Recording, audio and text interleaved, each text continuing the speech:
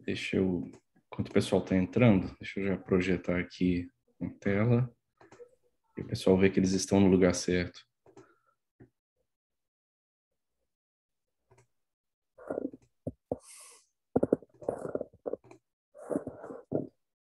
Boa tarde, boa tarde a todo mundo aí que está entrando. Sejam bem-vindos. Estou dando só uns dois minutinhos, tá? Para o pessoal que está se conectando. Tá? Esse aqui é o curso de Física dos Detetores de Partículas, tá? Caso alguém tenha entrado na sala errada, né?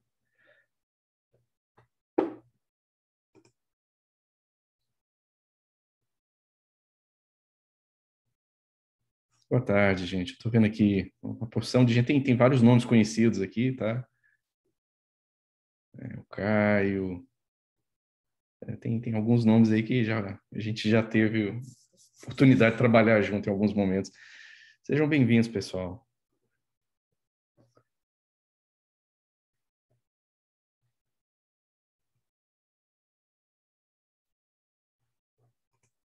Enquanto o pessoal ainda está conectando, Deixa eu dar um bom dia aqui, eu vou testar aqui o chat também.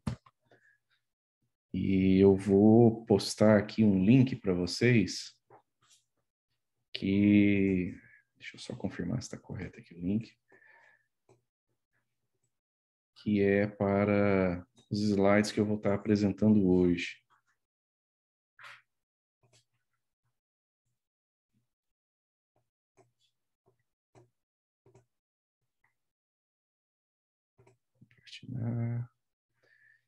É, eventualmente esses slides vão, vão aparecer também direto na página da escola, né? Só que assim tem um, um tempinho, né? Como nós estamos, vocês devem estar notando, né? Uma série de cursos acontecendo ao mesmo tempo, muita atividade. O pessoal que cuida da nossa página está meio sobrecarregado. Então, enquanto isso, tá? é, vocês podem obter link para os slides.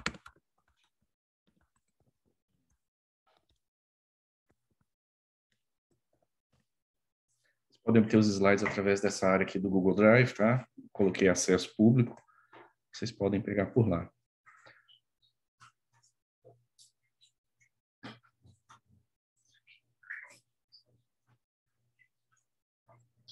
Ah, já estão na sala do curso? O Pablo está dizendo que os slides já estão disponíveis na sala do curso. Bom, eu nem sabia ainda, mas se estão, ótimo, melhor ainda. Mas caso vocês não encontrem lá, é, tá aqui no Drive também. Eu vou manter essa área do Drive, tá? Ao longo das próximas semanas. É, vocês fiquem à vontade também, tá? Mas assim, vamos usar a página do curso como ponto, ponto focal, tá? Beleza, tá ótimo. Obrigado, Pablo. Ok, é, eu dei os três minutinhos aí que eu tinha falado no início. Deixa eu só cancelar aqui um pouquinho essa compartilhamento, para vocês me verem melhor. é, deixa eu me apresentar. É, eu sou o professor Arthur Moraes, eu sou do CBPF, sou pesquisador aqui no CBPF e eu trabalho com física experimental de altas energias. Né? Atualmente eu, eu trabalho no experimento CMS, que é o Compact Muon Solenoid, que é um dos detetores que está tomando dados né, das colisões do LHC, lá no CERN, e eu trabalho também num novo experimento que o CBPF está participando, né, iniciou participação, e que se chama SWGO, que é basicamente um, um sistema, é, um grande, uma rede de detetores que a gente quer instalar no, em regiões de grandes altitudes, né? Então a gente está pensando, por exemplo, procurando um sítio apropriado aqui nos Andes para que a gente possa detectar raios gama de alta energia, né, com raios cósmicos que produzam gamas de altas energias que estão chegando aqui na atmosfera. Um instrumento para a gente fazer estudos de astrofísica, né? E é um experimento que a gente está na fase conceitual ainda, então, assim, é uma, é uma coisa bem bacana. É, esse curso, como vocês devem estar bem cientes, né? É, nós temos... É... Deixa eu projetar aqui o slide. Para todos verem minha tela. Aqui, tela toda.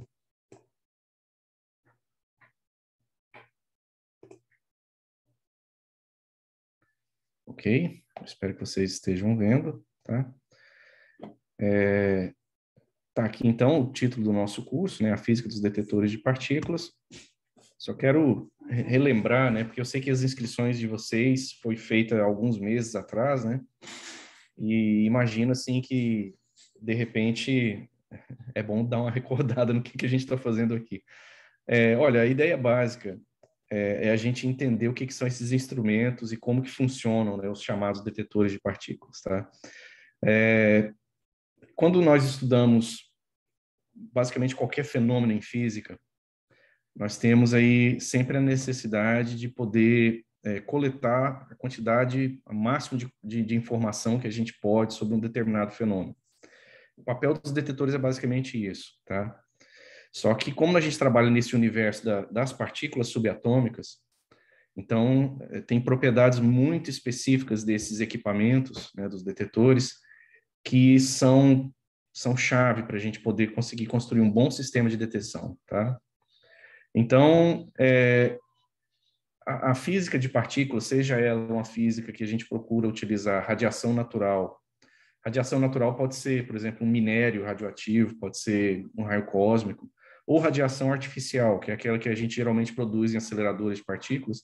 Esse tipo de física, a gente faz ele com um, tripé, sabe? Tem tem uma estrutura com três pilares principais que a gente utiliza para fazer esses estudos. Um deles é a fonte de radiação, seja ela então natural ou artificial. Se for artificial, você precisa de um acelerador de partículas, tá? É, nós precisamos dos detetores. Os detetores funcionam como se fossem verdadeiras câmeras fotográficas, né? Eles tentam, a gente tenta registrar, tirar uma fotografia do que acontece durante a, a, um processo de interação de, de partículas com determinado meio ou de partículas com partículas, que a gente chama de colisões, né? E um terceiro componente é a capacidade de fazer uma análise é, matemática, e isso atualmente envolve computadores, tá? Muitos computadores. Então, o que nós vamos trabalhar aqui ao longo dessa semana, é, nós vamos tratar dos detetores de partículas, tá? Eu vou, em alguns momentos, mencionar aceleradores, tá? Hoje, por exemplo, vou falar, um, vou fazer um pouco uma revisão histórica, né? É, nós vamos falar de grandes projetos que estão em funcionamento na atualidade. O maior deles em funcionamento é o Large Hadron Collider, né? É o, é o grande colisor de hadrons, né? Seria a tradução para português.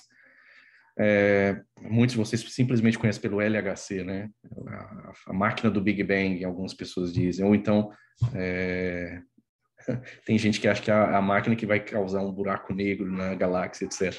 A gente vai lidar com alguns desses temas, tá? Vocês vão ver que não tem nada muito tão exótico quanto parece, não, tá? Mas assim, o foco mesmo vai ser então no sistema de detecção, tá? E eu quero explorar um pouco com vocês aqui ao longo da semana é, os mecanismos físicos que a gente usa na hora da gente fazer um projeto para construir um detetor e, eventualmente quando a gente constrói e opera um detetor, né? É, nós vamos começar discutindo fenômenos de interação da radiação com a matéria, tá? Então, radiação aqui são é, partículas que carregam uma quantidade de energia suficiente para promover um tipo de interação com a matéria. É, eu vou fazer esse revisão histórica hoje, técnicas de detecção de partículas, e aí nós vamos tratar diferentemente partículas que têm carga elétrica e partículas que são neutras. E algumas vamos discutir também algumas aplicações tecnológicas, tá? Desses detetores, até mesmo fora dos laboratórios de, de física de partículas, né? A gente muitas vezes tem a mente é, fixada apenas na parte da física básica, né? Mas essa área de detetores, ela tem uma aplicação tão grande hoje fora, né, da física básica, no que a gente chama de física aplicada, que eu acho que é interessante a gente mencionar também é, alguns desses casos, tá? É, eu tenho aqui uma bibliografia recomendada, né, que eu sintam-se à vontade, tá? Eu sei que vocês eu, eu andei dando uma olhada na lista dos participantes do curso e vi que tem gente de várias instituições esparramadas pelo Brasil afora, né, e até mesmo de fora do país, que é muito bacana. Então, assim, nas suas próprias instituições, é, nas bibliotecas, eu sei que acesso à biblioteca ainda é uma coisa que está meio restrito, né, mas, assim, acesso online vocês devem ter. É, fiquem à vontade para buscar as fontes que vocês acharem mais interessantes sobre esse tema. Eu estou recomendando esses três livros aqui, tá? Eu gosto muito desse aqui que está do lado, esse primeiro aqui à esquerda, né? É, deixa eu ver se eu consigo pôr um pointer aqui. Acho que não. Mas esse, esse livro que Particle Physics, né, do Martin Shaw, é, é muito bacana, sabe? traz bastante do, dos temas que a gente vai discutir. É, e aqui está os tópicos específicos que nós vamos tratar ao longo dessas aulas, tá? Nós temos aí oito tópicos bem específicos. Hoje a gente vai tentar fazer essa caminhada, né, que vai lá do, do Rutherford até o LHC. É, são mais de 100 anos em uma hora e meia de aula, mais ou menos. É, é bem puxado, mas é, eu espero que seja interessante para vocês. É, eu falar um pouco das questões principais que levaram ao desenvolvimento dos detetores né, ao longo da história da física das partículas. Amanhã nós vamos tratar da parte dos fenômenos físicos envolvidos na questão da interação das partículas com a matéria. E aí nós vamos trabalhar, como eu mencionei, a questão das partículas que têm carga elétrica, as partículas neutras. E aí, de quarta-feira para frente, nós vamos ir apresentando aqui no curso né, alguns detetores, tipos de detetores bem específicos. Então, vamos trabalhar cintiladores, que são detetores que operam utilizando luminescência, né? Uma fonte de luz que é convertida num sinal elétrico e depois um sinal elétrico é convertido num sinal eletrônico. Você usa isso para estudar os processos. É, detetores de semicondutores, que é, são uma verdadeira revolução na capacidade que a gente tem de entender o que está acontecendo é, nesse universo né, das partículas subatômicas detetores de gás, né, que é, também tem uma utilidade muito grande, historicamente são muito importantes, né, para a gente estar onde a gente chegou hoje com a tecnologia na área de partículas. É, nós vamos falar de calorímetros, né, e eu vou falar um pouco de calorímetro eletromagnético, calorímetro hadrônico, já já eu vou explicar um pouco o que, que significa esses termos, tá? É, e exemplos de aplicações, tá? É, é, é, bem ambicioso, tá, esse programa, então, assim, eu preciso da cooperação de vocês, tá? Eu vou estar tá disponibilizando os slides, vou tentar disponibilizar os slides sempre no dia anterior, para vocês poderem dar uma olhada, né? É, nós temos também aqui, eu sei que um grupo de pessoas que tem gente que está ainda no curso, no finzinho do curso, né, da graduação, seja em física, ou seja alguma área correlata. Eu sei que tem gente também que está em níveis diferentes aí nos cursos de pós-graduação.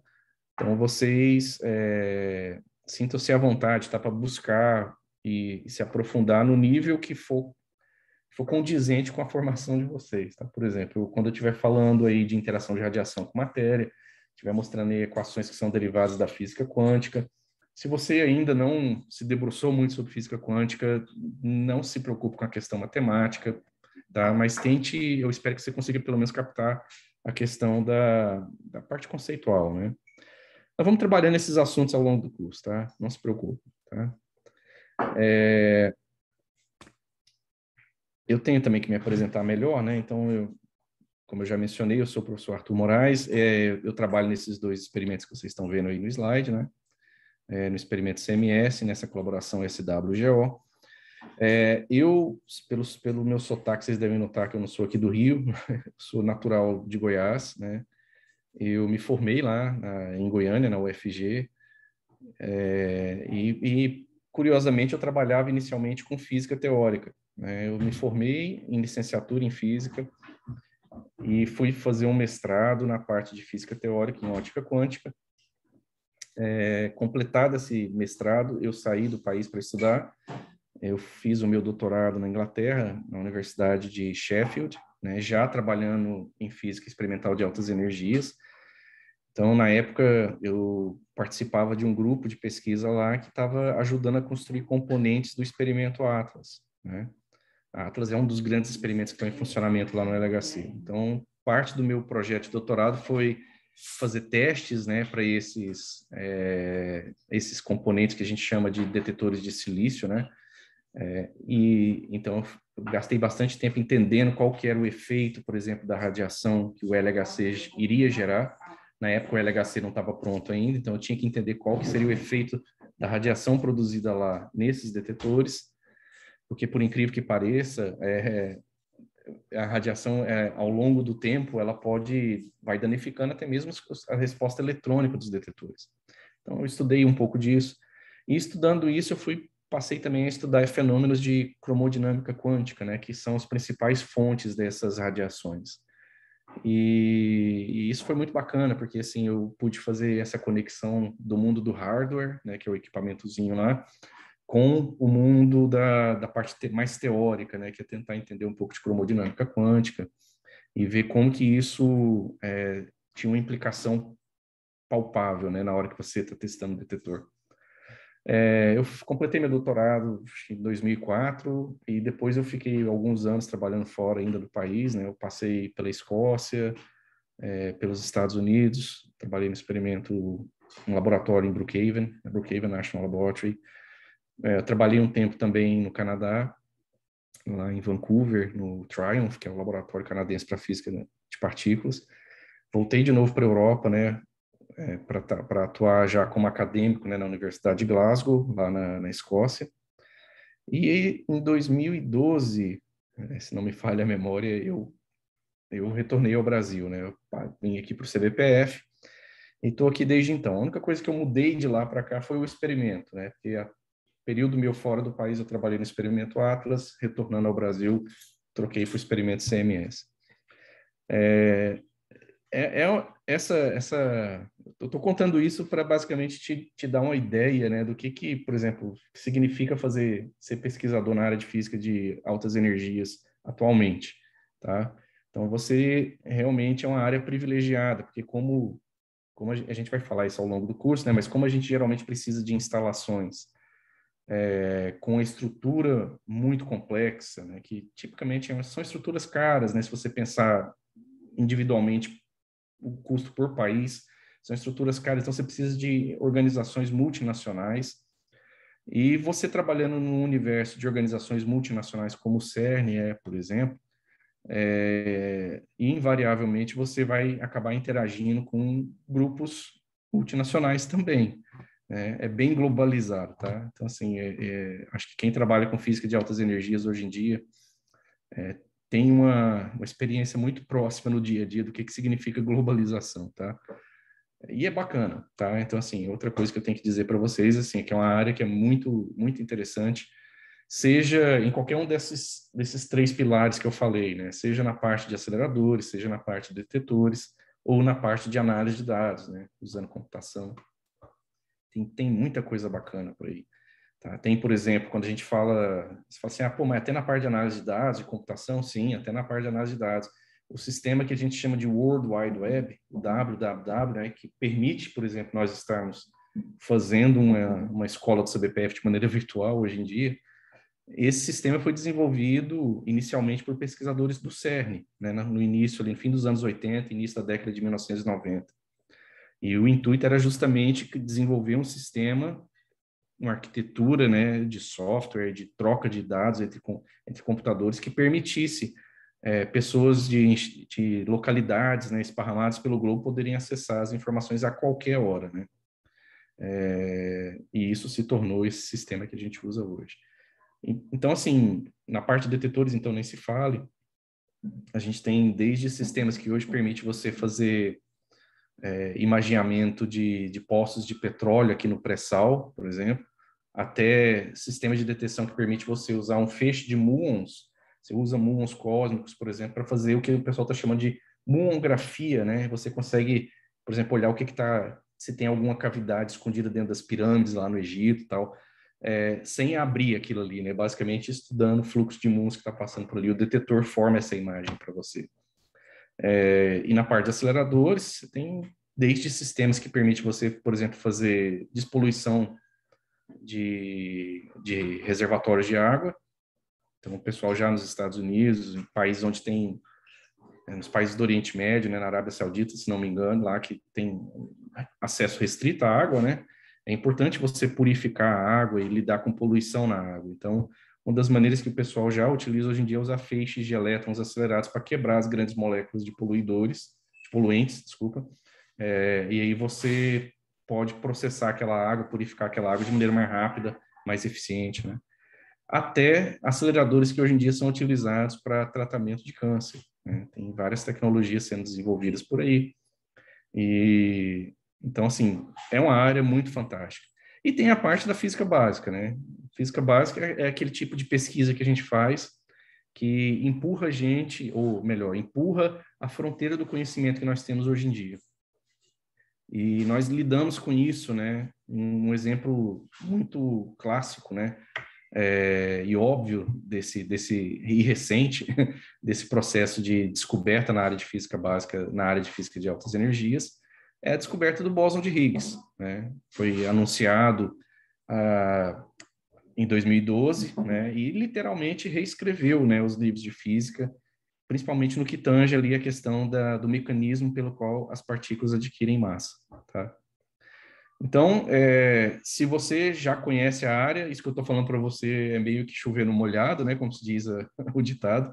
Mas se você é uma pessoa que está vindo de outra área, é, é, uma área muito bacana. E, e eu, eu desafio até físicos que ou engenheiros ou profissionais de áreas correlatas, né, que que estejam interessados aqui nesse, nesse curso em particular. É, se você procurar, você vai ver que existe pontes hoje em dia entre o, o, trabalho específico fora da área de altas energias e essas tecnologias que nós desenvolvemos na área de altas energias. Você pode procurar que você vai achar.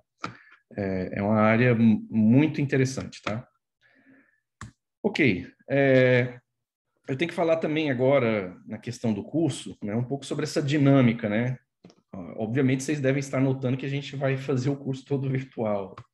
É, Para quem aí já participou de outras escolas do CBPF, é, vocês devem se lembrar que a gente organizava o evento para que pessoas do país inteiro, até de fora do país, pudessem vir ao CBPF, né? E a gente ali tinha aulas presenciais, você tinha ali o, a oportunidade, né, de estar tá trocando informação com os colegas, é, com os professores, conhecer um pouco também as instalações do CBPF, né? É, nas circunstâncias que a gente está hoje em dia, isso não é possível, mas então a gente bolou esse esquema da, da escola virtual. E tem um certo protocolo, né, que para funcionar, né, então vocês veem, nós estamos, estou olhando aqui, se eu estiver olhando corretamente, nós estamos aí com perto de 90 pessoas é, participando já do curso aqui, né, conectados agora. É, como é que a gente faz uma discussão, né, como é que a gente vai tirar dúvidas? Às vezes é, não é muito trivial, não é a mesma coisa você estar tá na sala de aula levantar o braço. É, então, assim, a gente pensou em algumas, algumas é, uma, uma, maneira sistemática né, de tentar conduzir isso. Eu vou, então, estar disponibilizando as notas de aula, tá? Então, esse link que eu circulei aí no, no chat e que eu vou estar postando também a cada dia, né? Vocês vão ver esse link aparecer na página do curso, tá? Um link para vocês acessarem os slides da, da aula referente àquele dia, tá? Então, o, da aula de hoje já está lá na área do, do, Google Drive, vocês podem fazer o download, é um arquivo meio grandezinho, tá? Tem bastante fotos e tal, mas vão ficar disponibilizados lá. É, é importante que vocês tenham esses, esses arquivos em mãos, tá? Para ajudar até mesmo a vocês, de repente, conexão cai, né? É, você precisa levantar para acudir alguma coisa, a gente trabalha em casa, né? Muitos de vocês estão assistindo isso em casa, por um celular, eu não sei, ou talvez vocês estão em movimento mesmo, né? Então fica sempre aquela coisa assim, ah, poxa, eu queria rever isso aqui, então pegue as notas de aula, tá? É, quando a gente preparou as notas de aula, quando eu preparei as notas de aula, a gente tentei fazer de maneira mais compreensiva, no sentido de colocar o máximo de informações possíveis ali nessas notas, tá? Com referências e tudo mais, para permitir que vocês também possam fazer a própria exploração de vocês, tá? É, e, e, isso também tem o lado, o outro lado dessa moeda, que assim, como tem muita informação nas notas de aulas, às vezes vão ter vários aspectos ali que no no momento que a gente tem aqui durante as aulas, eu não vou poder tratar, por exemplo, de toda a questão matemática. Eu não quero me ater muito a isso, tá? Eu vou tentar focar mais na questão dos princípios físicos, tá? É... Bom, o nosso horário, vocês devem estar cientes também, vai da 1h30 da tarde até as 3h30, né? É, nós vamos de segunda a sexta, então são cinco encontros, aproximadamente 10 horas de aula. É, duas horas sentado na frente de uma tela, às vezes é meio cansativo, né? Eu não sei se vocês pensam assim, mas é, eu acho que todo mundo, né, nos últimos, sei lá, 18 meses, a gente está nesse, nesse ritmo, né, de acompanha meeting no Zoom, acompanha meeting no, no Google Meet, né, etc. Quem aí dá aula, né, eu sei que alguns de vocês provavelmente dão aula, vocês têm que lidar com isso horas e horas durante o dia, é cansativo, tá? Então, o meu objetivo aqui não é cansar ninguém, né? Como a gente está nesse primeiro horário depois do almoço, também não é fazer ninguém dormir, tá? Então, espero que não. É... Vamos tentar fazer uma pausa ou mais de uma pausa, se vocês sentirem necessidade, tá? É, mas uma pausa, assim, de uns 10 minutos no meio ali do horário. E, tentar fazer no meio do horário, mas isso pode variar para mais ou para menos, tá? Dependendo da discussão. Perguntas e comentários. Vocês, vocês, eu acredito que muitos de vocês devem estar fazendo outros cursos também na escola. Vocês já devem ter, ter tido a experiência de fazer o curso na parte da manhã, né? É, mas caso você ainda não tenha participado, você esteja conectando aqui nesse pela primeira vez, é, e você não esteja muito habituado ao Zoom, né? Então, no Zoom, você tem essa barra de, é, de ferramentas do Zoom, né?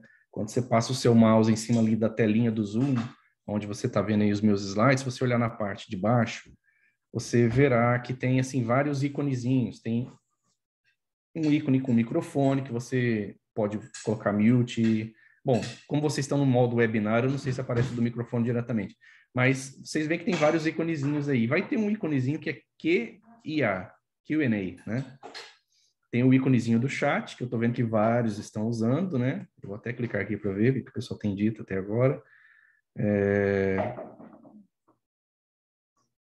é, é, vendo que o pessoal está comentando aí a questão da porcentagem do curso e tal. Então, no chat você vê, assim, assuntos diversos, generalizados. Agora, eu quero pedir, e assim, a organização da escola, a gente está pedindo que, quando você for fazer perguntas, você utilize esse íconezinho do Q&A, tá? No Q&A, você... Eu tô, vou estar tá apresentando aqui um determinado assunto, né, na aula.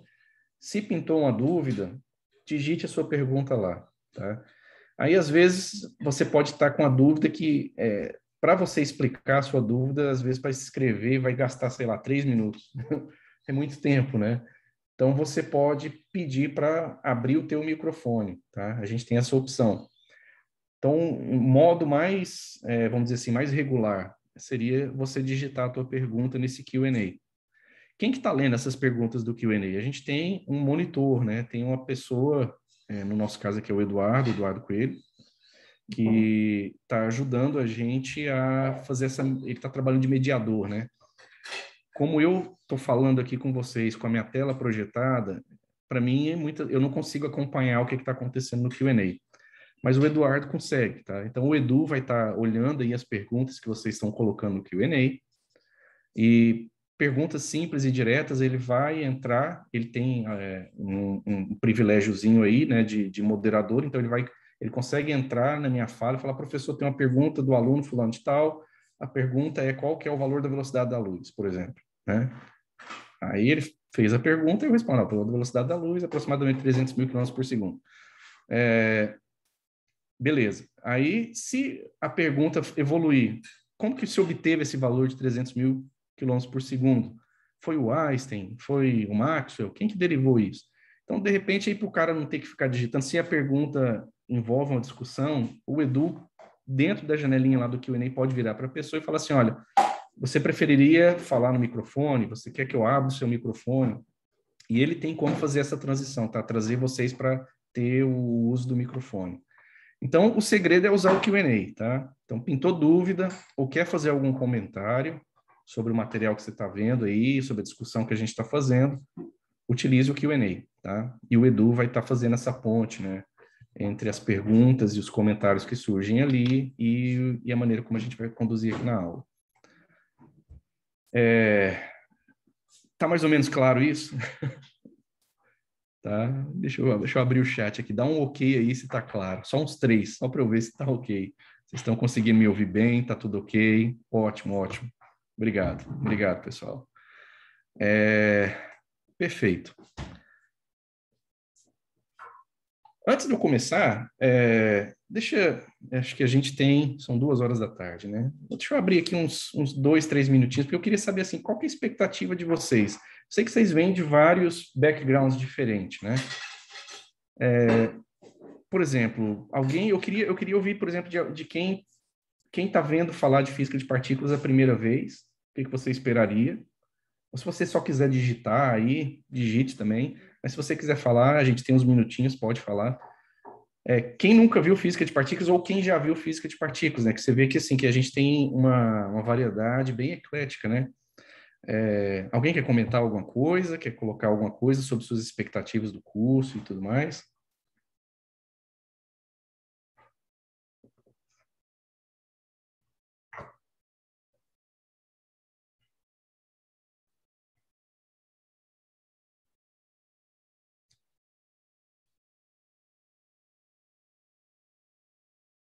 O Bruno aí está falando que ele já fez uma disciplina de dosimetria. Tem alguém aqui que trabalha no CERN, em algum experimento do CERN?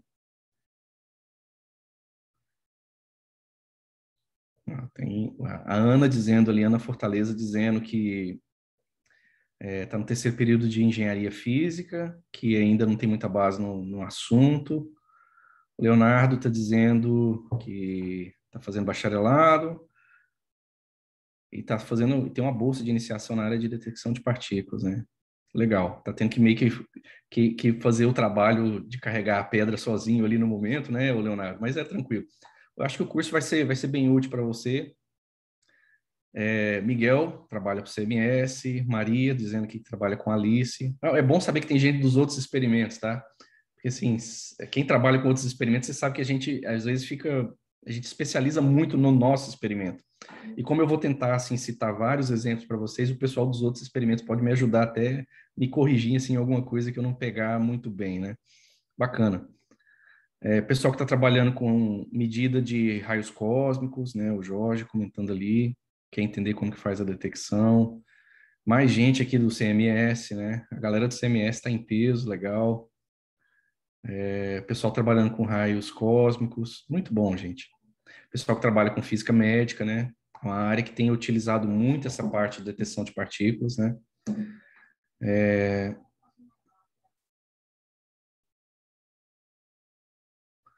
É, gente aqui que foi inspirado, né, por ter participado do Masterclass no CERN, né, e quer fazer parte dos experimentos lá do CERN, bacana também, a Isadora comentando aí. Bastante gente de iniciação científica, Caio que está no LHCB, né, Bacana, bacana. Ok, pessoal. Então, é, é, eu espero que assim a gente consiga, é um apanhado geral, né? Eu espero que a gente consiga, pelo menos, dar um saborzinho, né? Nós estamos aqui, vamos ter aqui uma semana juntos, né? Isso, por, por medida nenhuma, isso é, é, muito tempo, isso é muito rápido. Mas é, eu espero que, assim, se você pensa em trabalhar com física de partículas de maneira mais específica, você pensa em um dia medir algum efeito relacionado à física de partículas, é, eu espero que esse curso aqui vai te ajudar um pouquinho, tá? E, obviamente, né, é, a gente aqui no CBPF, eu não sei se vocês acompanharam ali o, a cerimônia de abertura hoje de manhã, né, o, o professor Ronald Scheller, o nosso diretor, ele, ele, ele usa muito um comentário que ele usou hoje também, né? Mas ele, ele, ele gosta muito de dizer é, que o CBPF é uma casa do físico brasileiro, tá? E aqui eu, eu não diria só físico, né? Eu diria do, do, cientista brasileiro em geral, porque assim a gente tem colaborações que vão muito além da física. Mas se você está trabalhando em outras instituições ou aqui perto mesmo na região metropolitana do Rio e você tem quer se aprofundar mais na área, você está fazendo o teu trabalho, sei lá, na tua instituição, quer trocar uma ideia com pesquisadores aqui do CBPF, e a gente a gente acha isso muito bacana. Na verdade, a gente é, encoraja muito isso, tá? E a escola do CBPF, um, um, dos, um dos fatores norteadores que a gente tem é exatamente esse, né? Nós queremos que esse momento, essa semana que vocês estão tirando para estar conosco, né, mesmo que virtualmente, é, sirva para vocês pelo menos ter uma referência de que onde você pode de repente buscar tal informação, no caso aqui detetores de partículas, né? Então a gente a gente encoraja muito no período até pós-escola, você poder também vir ao CBPF, né? Vir conhecer se você não conhece. Se Deus quiser, essa pandemia vai, vai se resolver logo, né? A gente está torcendo aí para essa vacinação se expandir o mais rápido possível. É, mas eventualmente a gente vai chegar no momento que você, a gente vai estar tá aberto de novo à visitação e, e, e a gente tem também esses mecanismos como esse que a gente está usando, né? A gente tem escolas, não só a escola do CBPF, que é bianual, nós temos também escolas de física experimental avançado, que acontecem todos os anos, né? Quando a gente pode abrir os laboratórios, né? É, e várias outras atividades que a gente realiza aqui na casa. É, e eu, eu encorajo vocês a olharem, tá? Fiquem de olho, por exemplo, a gente tem um programa de colóquios muito bacana, a gente tem vários outros programas que estão abertos à participação de gente de fora. Tá? E se você também quiser entrar em contato diretamente com algum pesquisador aqui do CBPF também, a gente também encoraja isso, tá? Né? Nosso, nosso papel é, envolve isso também, tá? A gente não está aqui só para ficar trancado num laboratório fazendo uma pesquisazinha para escrever o artigo. A gente, na verdade, é, tem uma dimensão que a gente quer também compartilhar né, a informação e ajudar na formação de vocês, né? E, e assim também a gente aprender, porque a gente aprende muito com vocês também. Né? Então vamos lá. É, vamos começar, vamos começar pelo início aqui, tá? Vamos começar, vocês vão ver, essa aula hoje, ela é bem tranquila, tá? É, eu vou tentar compartilhar uma quantidade grande de conhecimentos num período curto de tempo aqui. E nós vamos tentar fazer o caminho, então, que vai do Rutherford até o LHC. Tá? Então, vou falar um pouco do desenvolvimento dos detetores ao longo do, da, da, história da física de partículas elementares. Tá bom?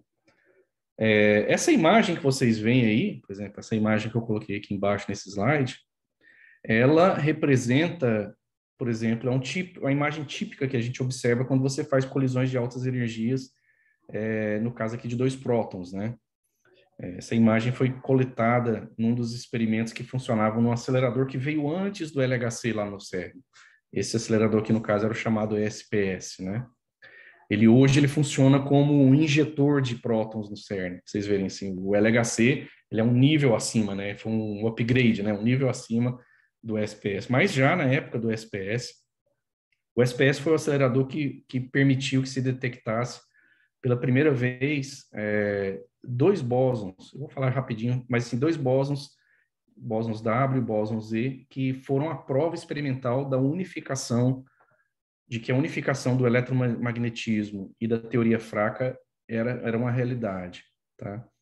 através da unificação do eletromagnetismo com a teoria fraca, você tem a teoria eletrofraca, que a gente diz, uma das previsões dessa teoria é que você deveria ter esses bósons massivos, seria, hoje a gente chama eles de bóson W e Z, tá? E, e esse acelerador que produziu essa foto que vocês veem aí, foi o acelerador que permitiu que o pessoal visse pela primeira vez o W e o Z. E aí o, os pesquisadores que estavam envolvidos nesse projeto ganharam o prêmio Nobel. Né? Isso foi na década de 80 se não me engano, por volta de 1983, tá? É, deixa eu mostrar aqui um videozinho, vamos ver aqui se vai se transmitir bem. É, não tem som, tá? Então, assim, se você não está ouvindo nada, só está ouvindo a minha voz, é isso mesmo, tá? Mas aí vocês veem, por exemplo, uma vista vindo do espaço, né? Para a região onde está instalado o LHC, que é esse anel que vocês veem, e esse aqui, em particular, é o, é o, experimento CMS, né? Que é o experimento onde eu trabalho atualmente, né? Então, vocês estão vendo imagens aí do detetor. CMS vem de Compact Muon Solenoid, tá?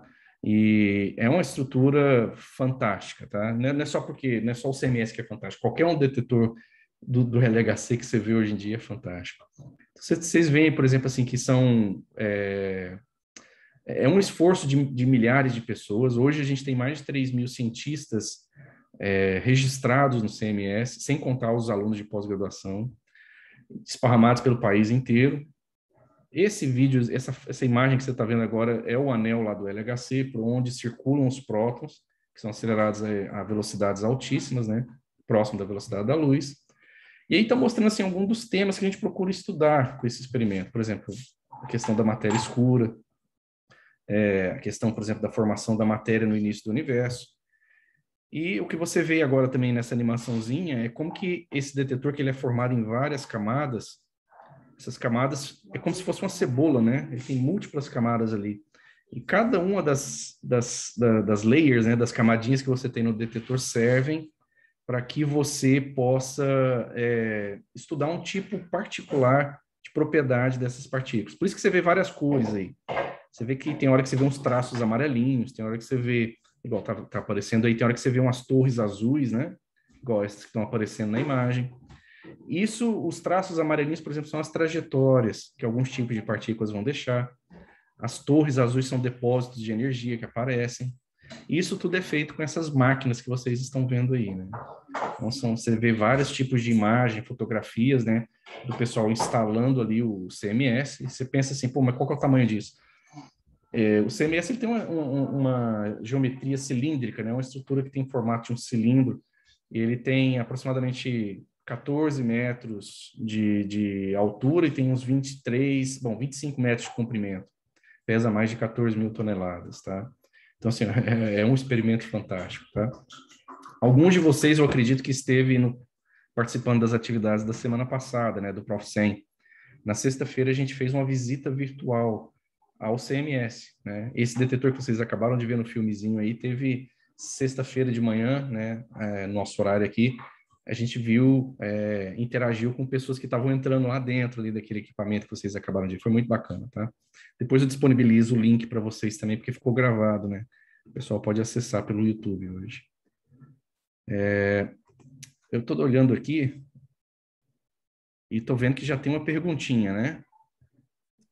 É, do Francisco, não é isso? Isso, isso. Ele está perguntando, Arthur, como é que as imagens das partículas são feitas?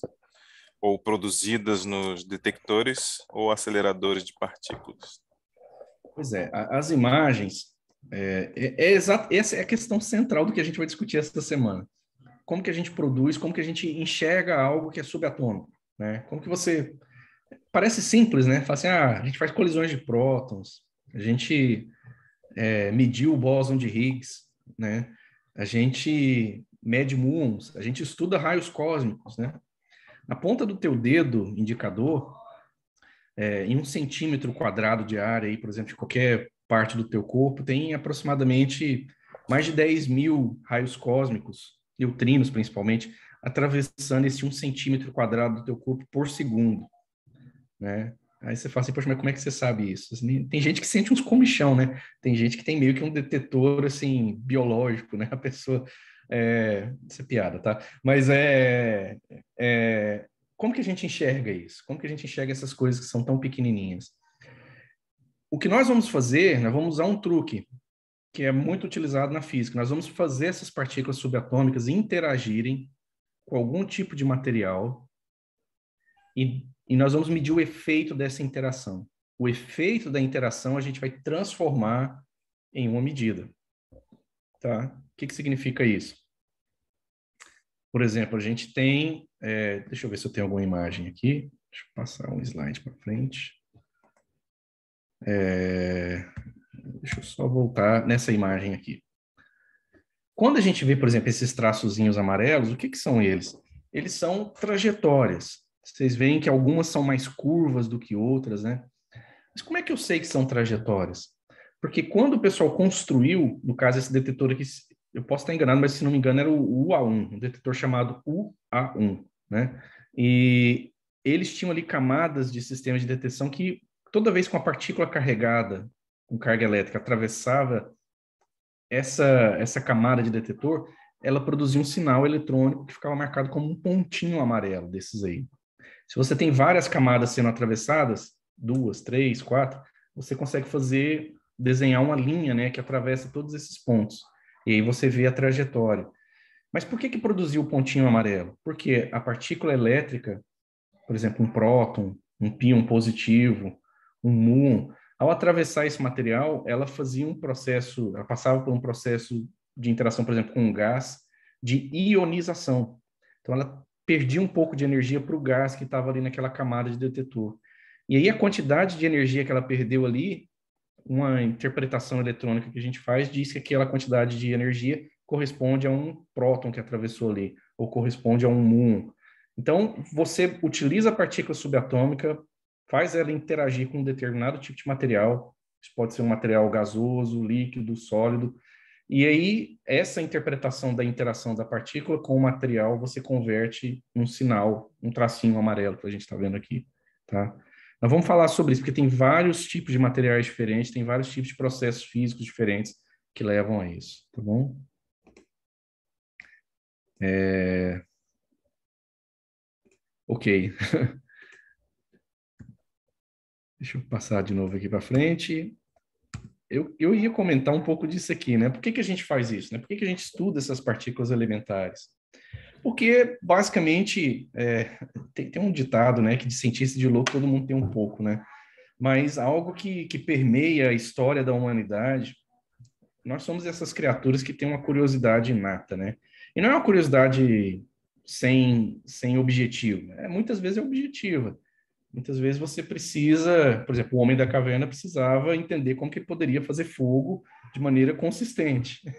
Era um problema que ele tinha que resolver e ele foi testando, bater uma pedra contra uma madeira, até que ele achou que se ele batesse dois tipos de pedra bem específicos ali, bem característicos ali, ele conseguia produzir a faísquinha toda vez que ele batia uma na outra. É, a, a, gente tem na humanidade, né, nós enquanto seres humanos, ninguém pensou que ia ouvir filosofia no curso, né, mas um pouquinho de filosofia. Nós temos essa capacidade inata, né, essa curiosidade inata de buscar respostas para aquilo que a gente não conhece. Isso é parte do que nos define como seres humanos. Seja o cara lá da idade das cavernas até o cientista moderno, né? E o que nós fazemos em física de partículas tem muito a ver com isso. A gente tenta responder essa pergunta fundamental, que é do que, que é feito o mundo, né? Quais que são os componentes fundamentais do universo? E, e essa é uma pergunta que, principalmente no século passado, se tornou assim muito muito gritante, sabe? Muito alta, né? Como que, como que a gente entende do que, que o mundo é feito?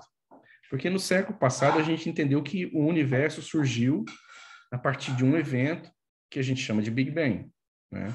Existe aí todo um debate do porquê que aconteceu o Big Bang, é, que, que iniciou o Big Bang. Eu não vou entrar nesse mérito, tá? Mas o que eu sei como físico experimental é, houve um evento onde você tinha uma quantidade gigantesca de energia concentrada numa região muito pequena, espacialmente falando, e por algum motivo essa energia foi liberada e começou a haver uma expansão, não só da energia, mas também da própria do próprio tecido que nós chamamos de espaço-tempo. O universo começou a expandir.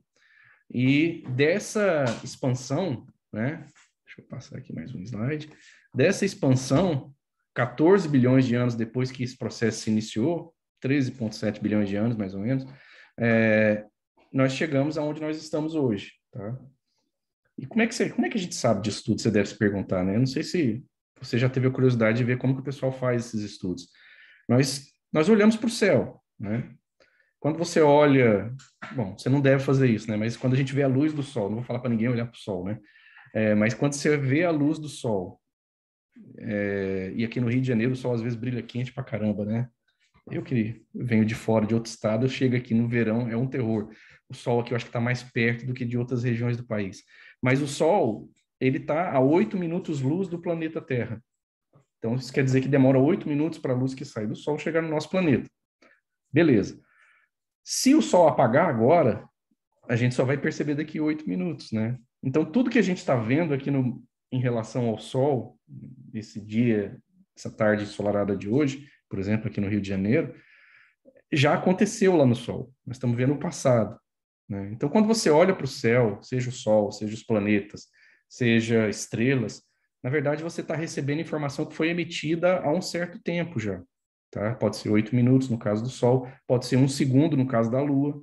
Né? A Lua está mais ou menos 300 mil quilômetros de distância da Terra, um pouco menos. É, mas demora mais ou menos um segundo né, para um feixe de luz sair do nosso planeta e, na, e chegar na Lua. Né? É, então, quando você olha a Lua, na verdade, você está vendo a Lua como ela era um segundo atrás, e por aí afora. O pessoal, quando eles começaram a, a refinar a as técnicas de observação astronômica, e aí a gente tem, por exemplo, o exemplo do telescópio Hubble, né? Que vira e mexe aparece imagens do Hubble aí na TV, na mídia em geral, e é muito bacana.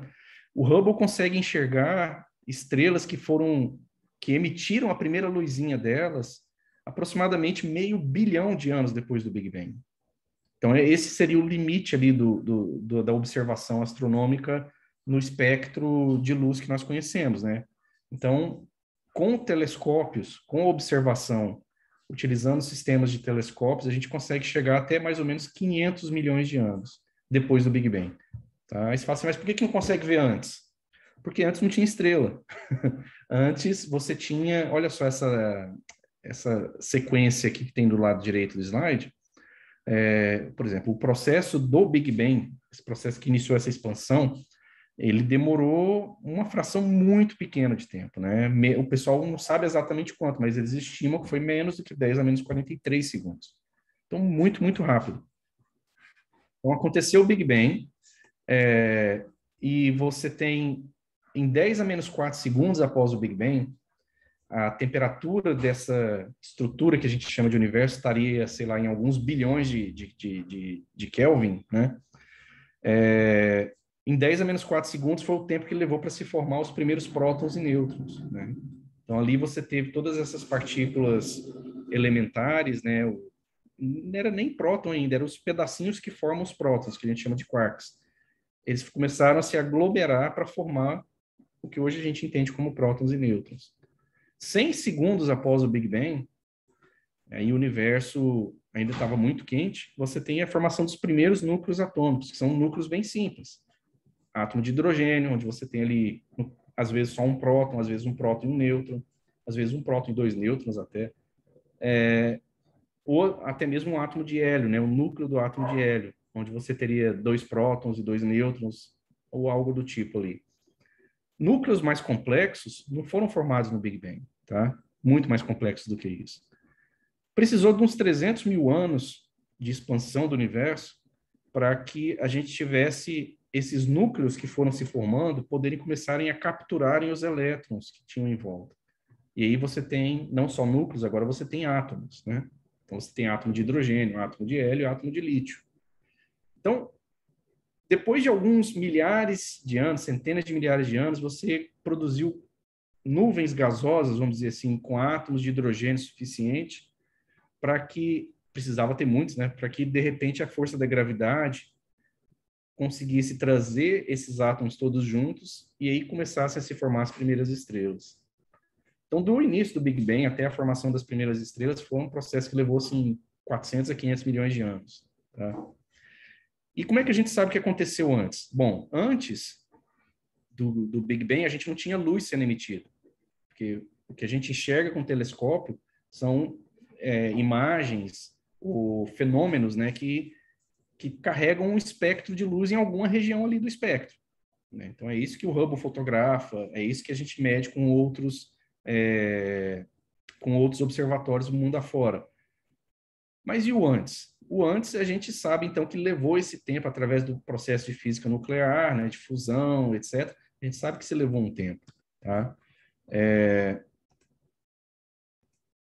Deixa eu mostrar uma outra animaçãozinha aqui que basicamente traz isso que eu estava falando para vocês. Se a gente faz uma escala, então, do tempo, a gente, então, tem esses, esses sistemas como o telescópio Hubble que levam a gente até próximo ali de algumas centenas de milhares, milhões de anos depois do Big Bang. Você tem também essas imagens, como vocês estão vendo aí, formadas e divulgadas por esse, esse satélite chamado WMAP. Ele mede a radiação cósmica de background produzida após o Big Bang. Tá? Então, ele está medindo o que foi produzido pelo Big Bang e é como que isso se distribuiu nesse, nesse universo que estava em expansão. Só que se você quiser saber o que, que vem antes disso, ou seja, se você quiser testar esse universo quando ele tinha uma temperatura muito maior do que isso, do que essa emissão dessa prim radiação primordial, você precisa de um equipamento artificial, tá? Você precisa de um acelerador de partículas. Então, o LHC, eu sei que passou meio rápido aí, mas o LHC, Large Hadron Collider, ele permite que a gente teste as condições iniciais do universo até mais ou menos 10 a menos 12 segundos após o Big Bang, que foi o momento ali onde você ainda tinha é, você tinha quarks muito mais pesados, por exemplo, do que os quarks que a gente observa hoje na natureza. E você tinha inclusive bósons de Higgs.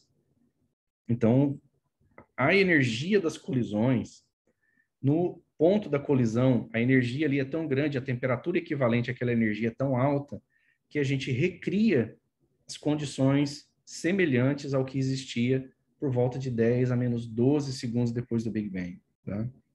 Então, é isso que a gente consegue fazer hoje em dia com um equipamento como o LHC. Tá bom? É...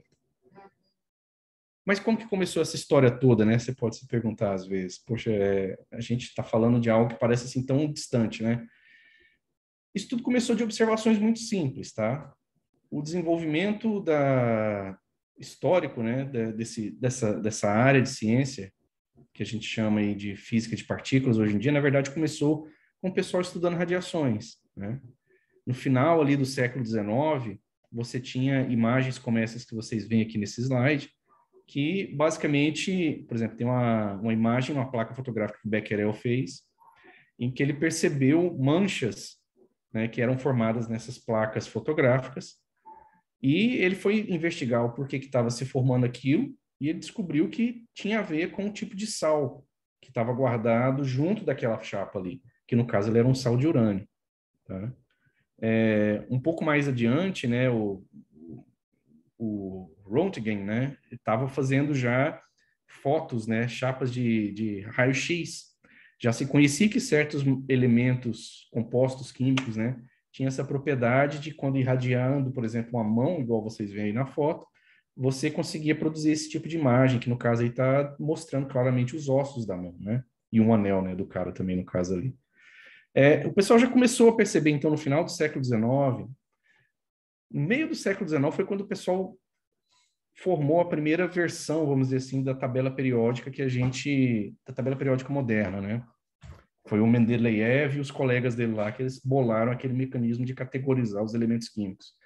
Mas ah, depois que eles fizeram aquilo, foi-se uma grande corrida para o pessoal descobrir novos elementos químicos. Ou então, então estudar elementos químicos que já se tinha notícia, mas que não tinham se aprofundado sistematicamente das propriedades deles. E aí começaram a ver que alguns tinham essas propriedades de produzir essas imagens. Isso levou à descoberta de de certos grupos de, de, elementos químicos que produziam isso que hoje a gente chama de radiação. Então, um grupo produzia, por exemplo, a radiação que a gente chama de alfa, um outro grupo produzia radiação beta, e um outro grupo, radiação que a gente hoje chama de gama. Né? São radiações produzidas por elementos químicos encontrados aí na natureza.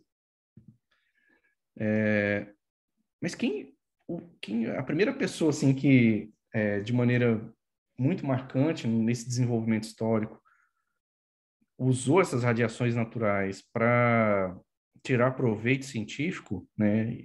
Não só dizer, ah, poxa, eu estou vendo aqui a radiação, mas não, como que eu posso usar essa radiação para estudar outras coisas? A primeira pessoa assim que sistematizou essa maneira de fazer isso foi o Rutherford, que é esse senhor que vocês veem nesse slide aqui. Só um comentário, né, de passagem. É, essa parte toda do descobrimento das radiações tem um filme que saiu aí da, da Marie Curie, acho que está no Netflix, se não me engano, tá? É, eu não sei se tem, tá, como está sendo gravado, assim, sem, sem, prejuízo às outras provedoras de filmes, mas eu, eu, acho que eu assisti no Netflix. Mas conta a história dela, tá? Eu, eu recomendo, é um filme bem bacana, assim, que mostra um pouco da jornada dela, né? Enquanto cientista, trabalhando ali na descoberta é, do polônio, né? E depois na descoberta de outros elementos químicos e no estudo da radioatividade, né? Mas aí tá aí, o Rutherford. Rutherford é um neozelandês, não sei se vocês sabiam, né? É, a gente tá, acabou as Olimpíadas aí, a gente às vezes, o que a gente ouve falar da Nova Zelândia é que lá é, é, um lugar de terras bonitas, né? O Senhor dos Anéis foi filmado lá, tem uma paisagem, um relevo muito bacana.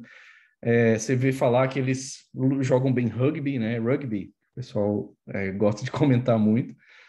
Mas a gente não ouve muito, né? Tem Kiwi também, né? A gente ouve falar muito dos Kiwis. Eles até o apelido é, carinhoso, né? Porque a gente tem para neozelandês é Kiwi.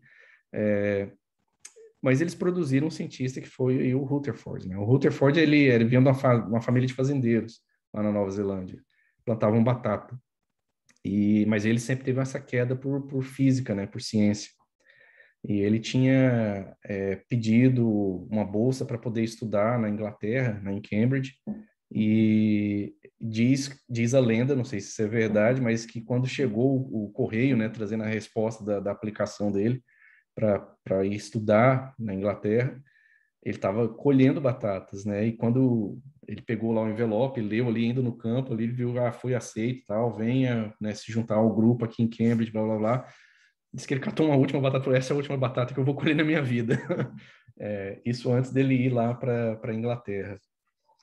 É, eu tive um, um, um, vamos dizer assim, um, um, contato indireto, né, com o Rutherford na, na história do Rutherford, eu devia dizer. É, não tem nada de, não conversei com o espírito dele nem nada, mas ele passou, ele teve uma passagem por Manchester, no norte da Inglaterra, que é perto da cidade onde eu me doutorei. E os cursos de física de partículas básica que nós fazíamos, né, na, na época do meu doutorado, eram dados lá em Manchester.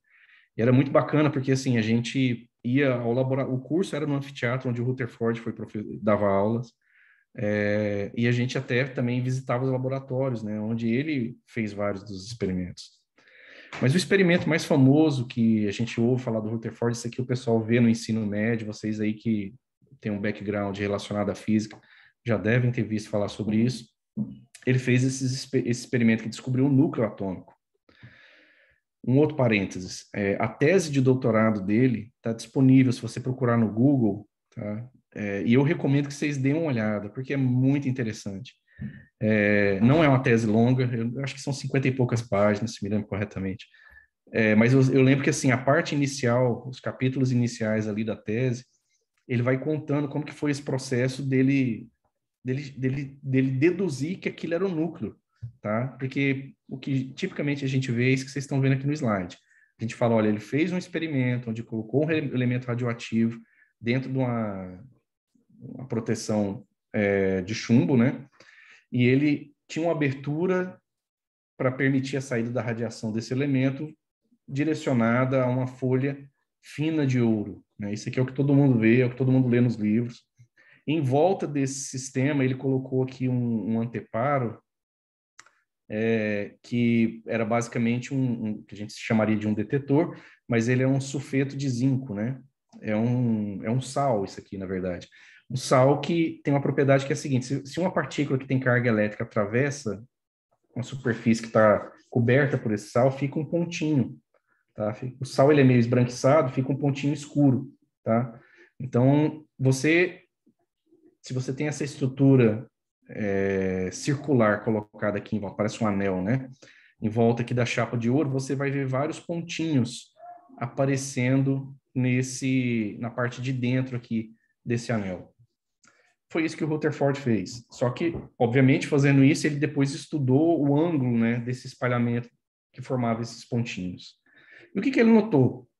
Ele notou que, na maioria das vezes, o, a, a radiação que saía aqui do polônio o polônio emitia, no caso aqui, partículas alfa, tá?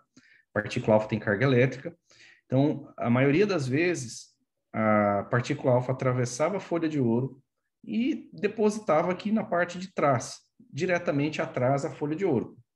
Então, o que, que ele estava tentando estudar? Porque na época, antes do Rutherford fazer esse experimento, o pessoal achava, não tinha muita ideia do que, que era o um modelo atômico, né? Não se tinha uma... Na verdade, a visão de modelo atômico era aquele do pudim de passas, né? Vocês já devem ter ouvido falar. Você tinha ali, à medida que você fosse reduzindo a escala da matéria, você ia chegar numa estrutura onde você tinha essas nuvens, né, como se fossem nuvens de carga elétrica positiva e negativa entrelaçadas umas nas outras, como se formasse um grande pudim de passas. E o Rutherford foi testar isso experimentalmente.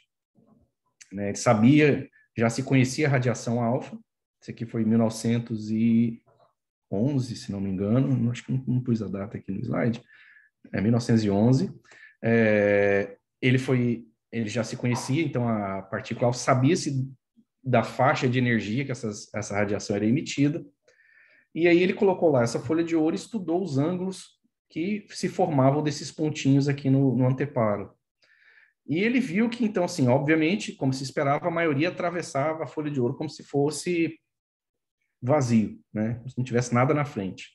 Mas havia alguns casos de partículas alfas que vinham aqui do polônio, batiam na folha de ouro e estavam sendo ricocheteados é, em direções que não se esperava, né? então, com ângulos bem grandes, né?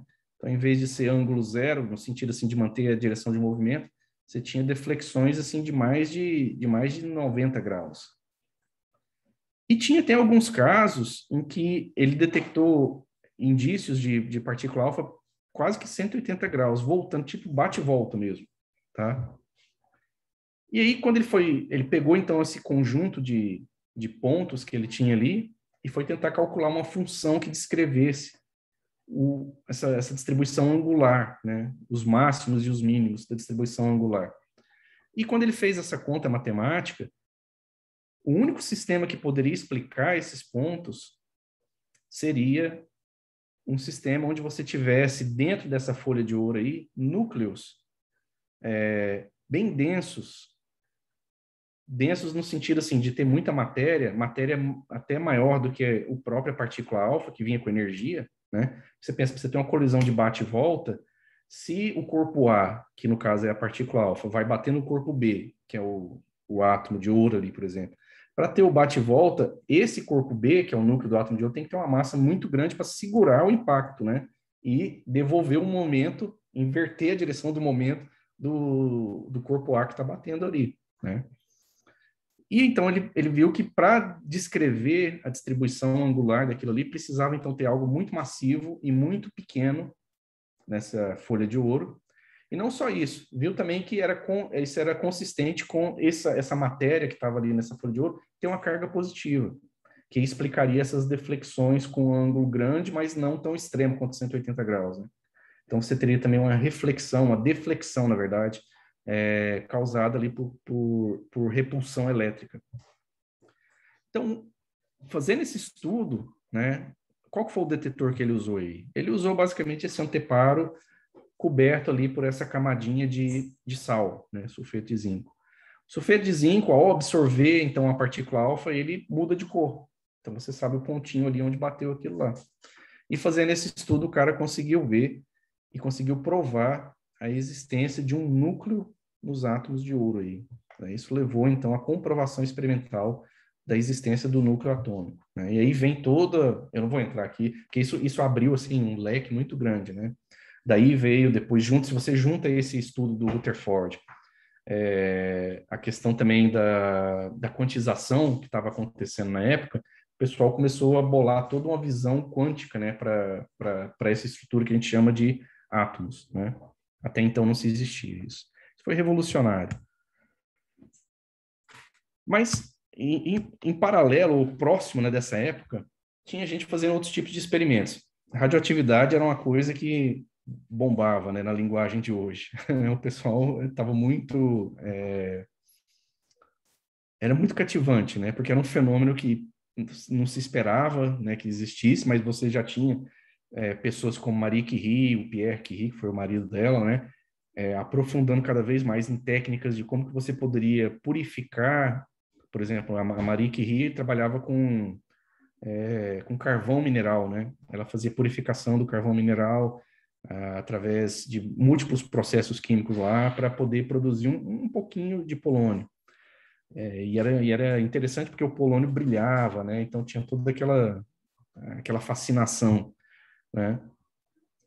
E existia também uma galera, e aqui vocês estão vendo o, Victor Hess, né, que para testar realmente se radiação era algo que estava confinada aos minerais, por exemplo, no nosso planeta, então qual que seria, se fosse só minerais que produzem radiação, se você entrar num balão e levar essas chapas de fotográficas que a gente está registrando, essa radiação, se a gente se afasta do solo, a gente deve ter menos efeito radioativo atingindo essas chapas, deve ter menos sinais radioativos. Então, eles resolveram testar essa, essa hipótese, né? E aí subiam, né? 100 metros de altitude, 500 metros de altitude. À medida que eles foram chegando a alguns quilômetros de altitude, com esses experimentos montados no balão, eles começaram a perceber que ao invés de diminuir, a radiação estava aumentando. E aí, como é que você explica isso? Né? O RES e o pessoal que estava envolvido com esse tipo de trabalho começaram a, a, a, criar essa hipótese de que a radiação também poderia ser produzida fora do nosso planeta. E aí você teria, então, o que nós hoje chamamos de raios cósmicos, né? Você teria uma fonte radioativa ocorrendo fora do nosso planeta, seja, por exemplo, o Sol, seja um, um, um outro evento astronômico de, de, de, grandes proporções, por exemplo, a explosão de uma supernova, é, que poderia produzir também fragmentos de partículas, né, na escala do átomo, eles não sabiam exatamente o que era subatômico ou não. O, acho que né, nessa época ainda não se tinha muita ideia, ou não se tinha evidência experimental do próton, se sabia da carga positiva no núcleo, mas não se sabia do próton. O próton acabou sendo descoberto depois de novo pelo Rutherford. Então aqui o pessoal já estava percebendo assim, olha, tem algo que está vindo de fora do nosso planeta e está chegando aqui nas nossas chapas fotográficas, e à medida que a gente está subindo, está aumentando. À medida que você sobe, que você vai, ficando a, vai indo a, a altitudes mais altas, né, você está diminuindo a camada de ar, né, no caso, que tem entre o solo e aonde você está, a posição que você está no balão, por exemplo. Então, diminuiu a camada de ar, diminui o meio material, né, por onde essas partículas estão se propagando. E isso levou, então, à descoberta dos raios cósmicos, né. Então, isso foi em 1912. Então, vai, vai marcando aí. Em 1911, o pessoal começou a perceber, olha, existe núcleo atômico. É, 1912, existe fontes radioativas que vêm de fora do nosso planeta. Se, se a gente dá um salto agora aqui de uns 20 anos, 20 anos aqui nós já estamos em 32.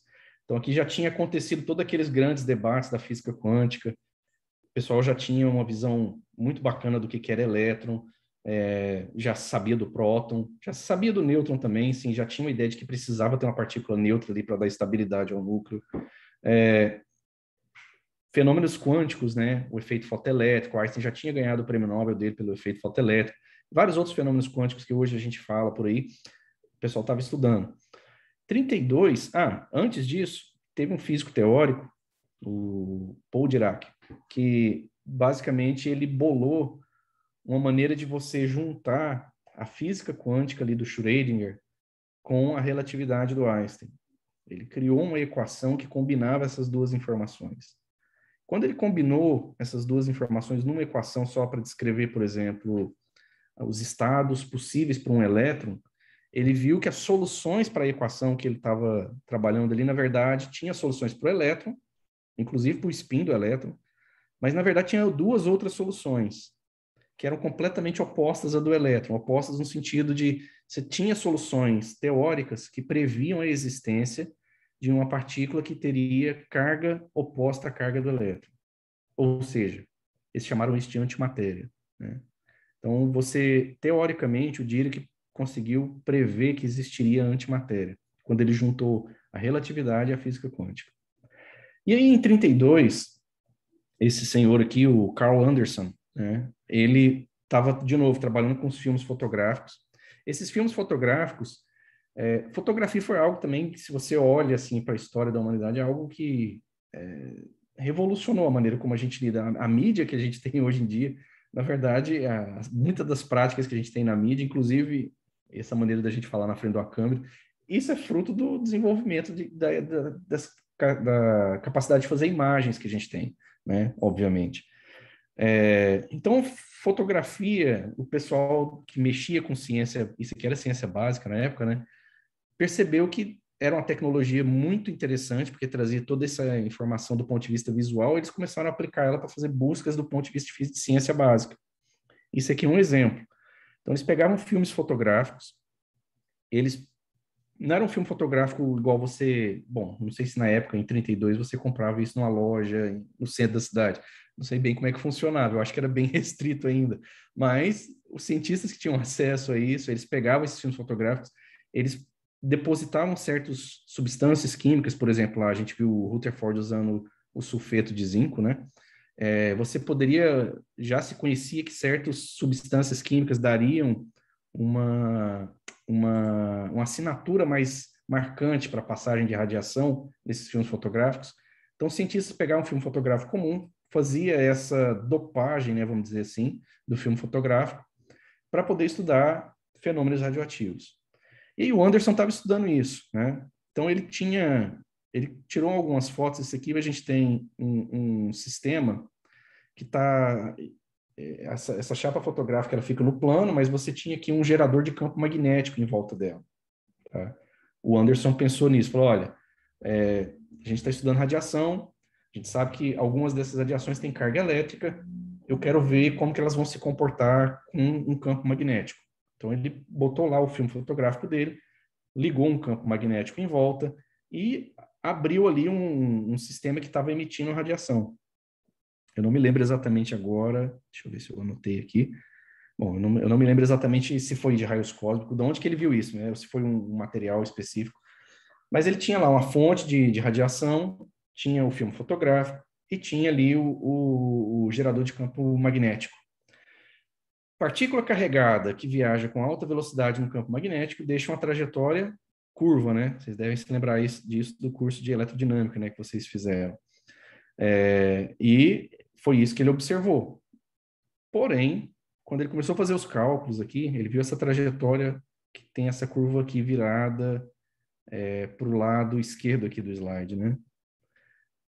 Essa trajetória, ao ver a curvatura dela, ele falou: bom, essa curvatura, eu conheço o campo magnético, eu tenho aqui a curvatura, eu sei que é uma partícula que tem carga positiva. Beleza. Aí ele pegou a energia dessas partículas que estavam entrando aqui. Então, ele sabia a velocidade das partículas. Quando você conhece a energia da partícula, indiretamente você conhece a velocidade com que ela está viajando. Se você tem a energia, você tem a trajetória, você consegue tirar a massa da partícula. Quando ele viu a massa dessa partícula, ele, imaginou, olha, a partícula tem carga positiva por causa da trajetória, a massa de, a, ela deve ser um próton, foi o que ele pensou. Só que quando ele olhou isso diretamente, ele viu que a massa não batia com a massa do próton de maneira alguma. Na verdade, a massa desse objeto aqui, quando ele fez as contas, dava quase duas mil vezes menor do que a massa de um próton, que seria mais compatível com a massa de um elétron. Né? É, eu vi que surgiu uma perguntinha aí. Vamos lá. Como é identificada a energia? Energia você pode identificar de várias maneiras, né? O, o mecanismo mais simples que a gente usa para medir energia são equipamentos que a gente chama de calorímetros, tá? E aí tem é, é, é a, a ideia do calorímetro vem bem mesmo da termodinâmica, né? Você faz um sistema onde você, por exemplo, absorve, você tem uma fonte de radiação. Você coloca essa fonte de radiação para ser absorvida por um material é, esse material aumenta a temperatura dele, por exemplo.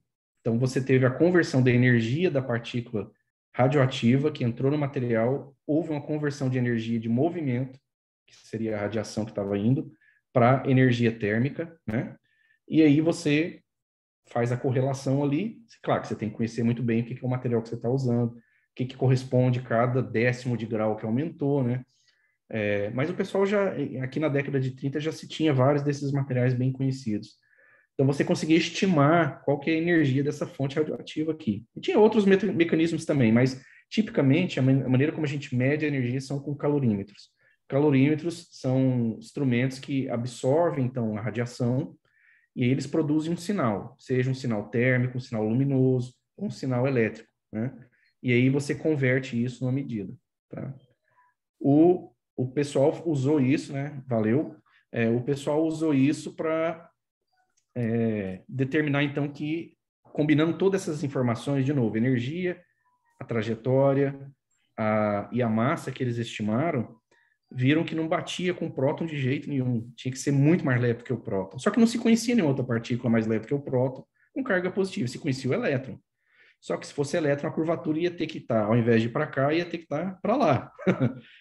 É, e aí foi aí que, voltando na, na predição lá do Dirac, Anderson começou a, a, a perceber que o que ele estava observando aqui, na verdade, era uma nova partícula, uma nova forma de matéria, na verdade, que seria a antimatéria do elétron. Né? Essa antimatéria do elétron, a gente chama ela de pósitron. Tá? É, então, Deixa eu mandar um pouquinho mais. Em 47. Oh, Diga. Arthur, desculpa. É, o Henrique fez uma pergunta uns minutos atrás que acho que tem mais a ver com o que você está falando agora. Só que ele falou no contexto do LHC, né? Que ele perguntou se, a, se essa trajetória curva, no caso das partículas do LHC, né, é dada pelo espalhamento ocasionado na colisão entre os prótons ou é proposital do LHC? Lá no LHC, é, os feixes tem, tem, tem vários campos magnéticos lá no, LHC, tá? Tem um campo magnético que mantém os feixes na órbita circular, tem campos magnéticos que focalizam os feixes de prótons para baterem uns nos outros, e tem os campos magnéticos dos detetores, tá bom? Nos detetores, que formam aquela imagem que eu mostrei no começo da aula, aquelas trajetórias mais curvas que a gente observa ali, são resultado da interação, então, de uma partícula carregada que surgiu da colisão, entrou no detetor e fez uma órbita circular ali dentro do detetor. Então, não é necessariamente é, ele na pergunta ele coloca um espalhamento na colisão entre os bom são partículas que são produzidas da colisão dos prótons mas o que faz elas curvarem no caso daquelas imagens que a gente mostrou no comecinho da aula são é o campo magnético que está ali dentro do detetor tá então elas são as partículas são fruto da colisão mas o que curva elas é o campo magnético tá não, não é um processo de bola de bilhar porque eu não sei se é isso que você está imaginando. Você tem uma bola de bilhar que bate na outra e muda de direção. No caso ali, não. No caso ali, é a interação do campo magnético tá, com a partícula que foi produzida. É. é basicamente isso que o Anderson usou, tá? Na verdade, o LHC é uma maneira mais sofisticada que a gente tem de fazer isso, tá? É... Valeu, Henrique. É... Eu passei aqui o slide mais rápido que eu queria voltar um, eu quero falar um pouquinho do nosso querido César Lattes, né? Isso aqui já está em 1947, né? Vocês lembram? Então, Anderson, em 32, provou a existência experimental do, do pósitron, da antimatéria. É, parênteses de novo, né? Tem um filme baseado num daqueles livros do Dan Brown, eu, eu acho, não sei se é, acho que é Anjos e Demônios, é, agora eu não me lembro. É, o primeiro é o Código da Vida, depois é o Anjos e Demônios, né? Que, que a, o, o, vamos dizer assim, a trama do filme se dá atrás de um atentado terrorista que queriam fazer usando uma bomba de antimatéria. Se vocês não assistiram, assim, é, eu sei que é controverso o filme e tudo, mas pelo, menos por essa, esse aspecto, né, de como que eles lidam com a questão da antimatéria no filme é interessante. E assim, eu lembro quando é, eles estavam fazendo as filmagens, eles fizeram lá no CERN, né? Eu veio um, um dos protagonistas do filme é o aquele ator americano Tom Hanks, né? É, veio o Tom Hanks, veio a galera toda para o CERN, eles conheceram o laboratório, eles filmaram lá no CERN mesmo. Foi o maior bafafá, né? Como diz o outro, assim, quando aquele monte de gente de Hollywood filmando ali.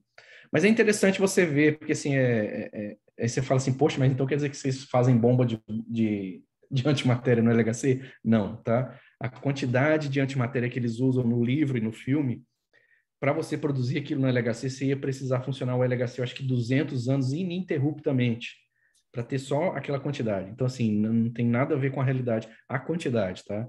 Agora, sim, a questão das propriedades e que a gente produz antimatéria lá no LHC, a gente produz, tá? Então, dá uma olhadinha, tá? Fim de semana chegando aí, você tendo um tempinho extra, vale a pena você assistir o filme, pelo menos para ver esse aspecto da questão da antimatéria. Mas aqui também tem uma, uma, outra, uma outra história bacana, que é a questão do, da, da, descoberta do pion, né? Porque até agora eu estou falando aqui de prótons, de, eu falei de elétrons, né? Falei do modelo do átomo rapidinho, e o pessoal já sabia também da questão do nêutron.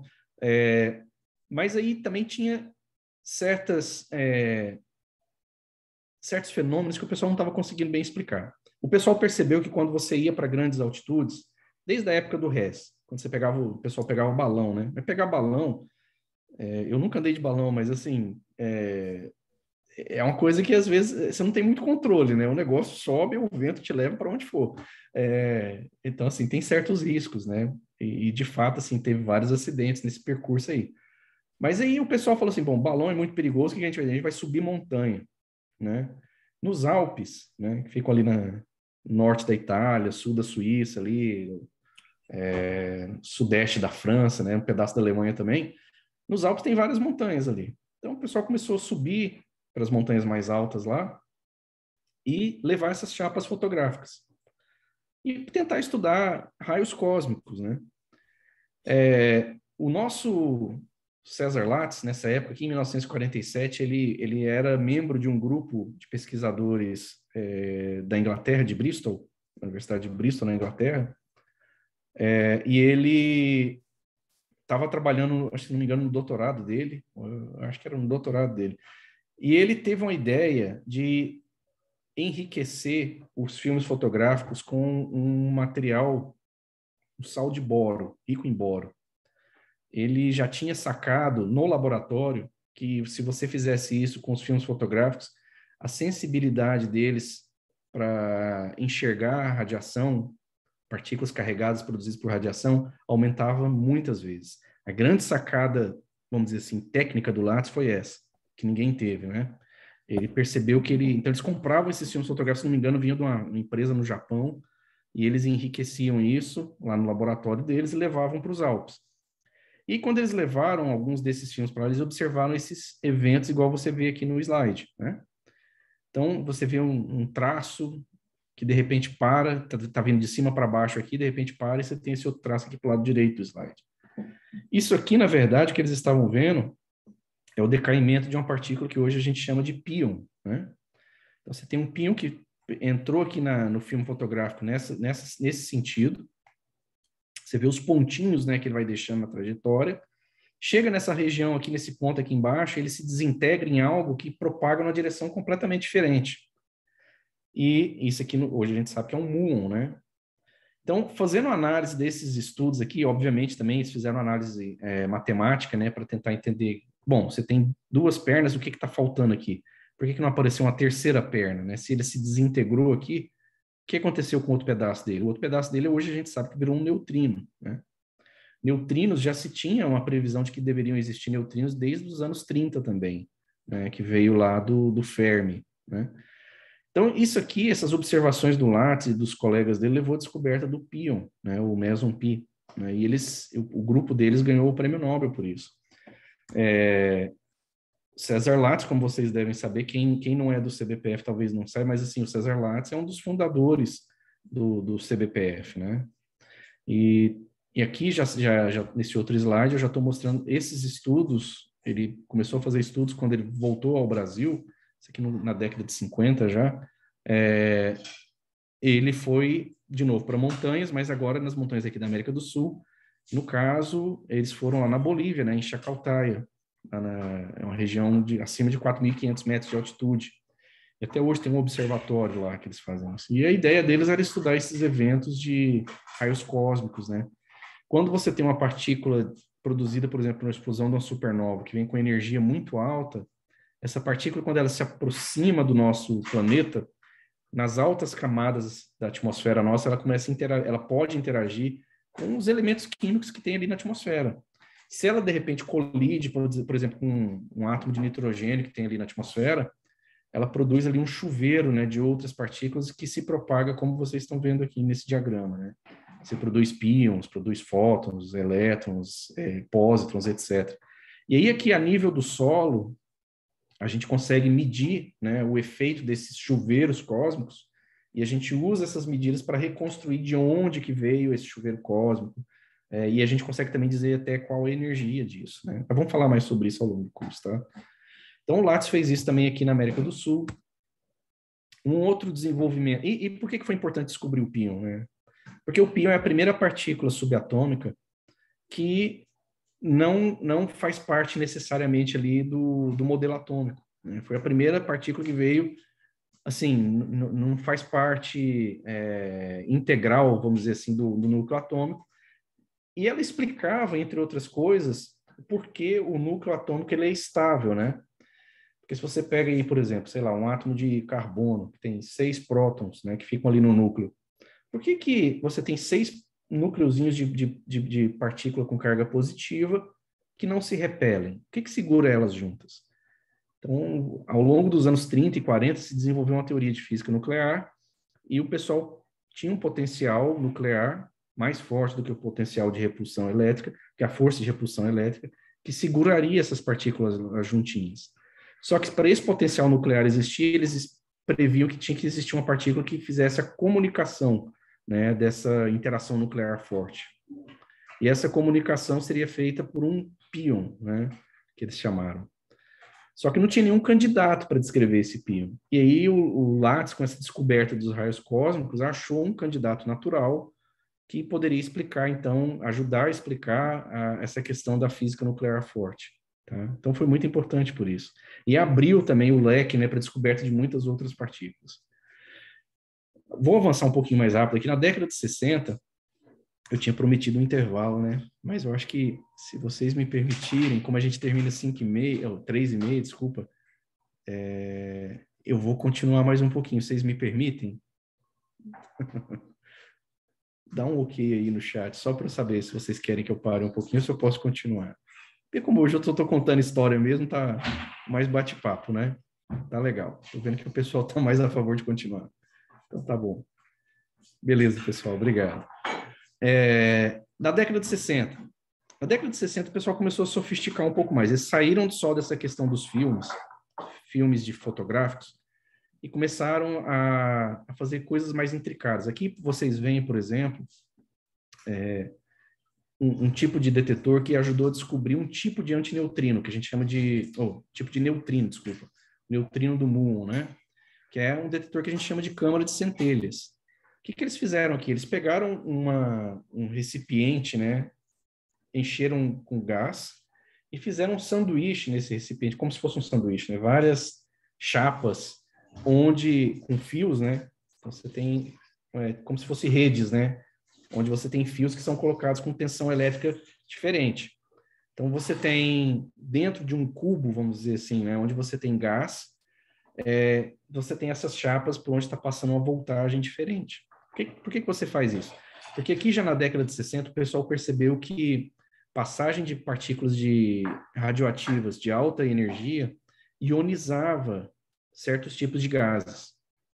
Né? Então, o pessoal trabalhou muito com. Na década de 50, tinha muito estudo na, com o que eles chamam de câmara de bolhas, né? que eles viam o efeito da passagem de radiação em, em líquidos. Né? E aí, aqui na década de 60, eles falaram: bom, se a gente trocar esses líquidos por gases, a gente consegue fazer detetores grandões. E se a gente colocar o potencial elétrico diferente, a gente amplifica o efeito da, da ionização. E aí, fazendo isso, eles viam, por exemplo, esses pontinhos, não sei se vocês vão conseguir ver aí na imagem de vocês, mas, por exemplo, a chegada de um, de um muon, por exemplo, ia deixar uma trajetória muito característica aqui. E essa técnica ajudou o pessoal a descobrir partículas que até então se, se tinham uma ideia teórica, mas não tinha evidência experimental. Então, como é o caso do neutrino do muon, né? Esses senhores aqui todos ganharam prêmio Nobel por isso. É, isso aqui, de novo, é uma câmara de bolhas, que eu tinha acabado de falar. Então, esse aqui era um, meio que o concorrente né, desses experimentos da câmara de centelhas. É, só, só um, um, outro parênteses aqui. A câmara de centelhas no CBPF, a gente tem uma, tá? Que fica, quem conhece o CBPF ali no, no laboratório nosso, lá no quinto andar, geralmente fica exposta ali, tá? Quando vocês tiverem a oportunidade de visitar o CBPF a próxima vez aí, vai lá dar uma subidinha no quinto andar. Geralmente ela fica ligada. E, e é, é muito parecido com esse sistema que vocês têm aqui no slide, tá? Você tem várias chapas, né? Você tem é, é como um cubo, né? Você tem várias chapas que estão com tensão elétrica diferente e você tem um gás que fica ali dentro. Então, à medida que passa um raio cósmico ali por aquele sistema, você vê ele produz como se fosse uma faísca, né? Em vários pontinhos ali. E é, analisando então a, a trajetória deixada por essas faíscas, que você consegue ver de que direção que veio esse raio cósmico, e você consegue fazer outros, outras análises também. O nosso no CBPF também tem um sistema que mede, a gente tem cintiladores que medem, por exemplo, a passagem é, simultânea, né? A gente faz contagem de simultaneidade também. Mas é, é um sistema clássico, né, para se detectar partículas. Esse aqui, é, a câmara de bolhas, de novo, você tem agora um tanque né? Geralmente eram como se fossem grandes cilindros, né? Onde você coloca uns líquidos ali sob alta pressão. E esses líquidos, você em volta deles coloca um sistema que gera um campo magnético. Então, você abre uma janelinha para irradiar esse líquido que está ali. Essa janelinha, geralmente, em 1960, ela já vinha de aceleradores de partículas, tá? E os aceleradores de partículas iam mandando feixes de partículas dentro desse líquido, e isso aqui era o que o pessoal via. Então, o pessoal ia analisando. Você vê que tem órbitas aqui que são bem circulares, né? Então, você imagina uma partícula de carga elétrica, entra nesse campo elétrico, ou campo magnético, e vai fazendo essa órbita em espiral até gastar a energia toda dela. Outras partículas meio que atravessam quase que reto, né? É, ou com a curvatura bem pequenininha. Essas são partículas que têm uma velocidade muito grande. Né? Então, elas mal sentem o campo magnético. O que o pessoal começou a fazer, eles começaram a identificar cada um desses traçozinhos que você vê nessa fotografia. E aí você consegue ver quais são as partículas, você através de análise da, do tamanho dessas, desses, desses é, espirais que são formados, da, da, do ângulo né, de deflexão, eles conseguiam extrair informações do tipo de partícula, da carga, etc. E isso aqui, por exemplo, é um evento que levou à descoberta de uma partícula que a gente chama de ômega. Tá? Por que, que o ômega é importante? Porque o ômega ele é um primo mais pesado do próton. É, e o pessoal até então não sabia muito bem se existiria ou não esses caras. Tinha uma predição teórica para a existência deles, mas até 64 não se tinha descoberto essas partículas. E o ômega não é só isso. O ômega ele prova, por exemplo, que no mundo da física nuclear forte, no mundo da física nuclear forte, você tem o que a gente chama de carga de cor. Porque esses ômegas, eles são como se fossem três quarks que têm o spin tudo alinhado para cima. Agora, se a gente para e lembra lá da, do, do, princípio da exclusão, né, de Pauli, a gente sabe que você não pode ter três partículas no mesmo estado quântico ao mesmo tempo. Então, você tem que ter algum diferencial quântico ali entre eles. Qual que era o diferencial quântico que existia entre eles? Foi-se provado que era a carga de corpo, tá? Então, o pessoal fez isso, comprovou, então, assim, dessa maneira o modelo dos quarks.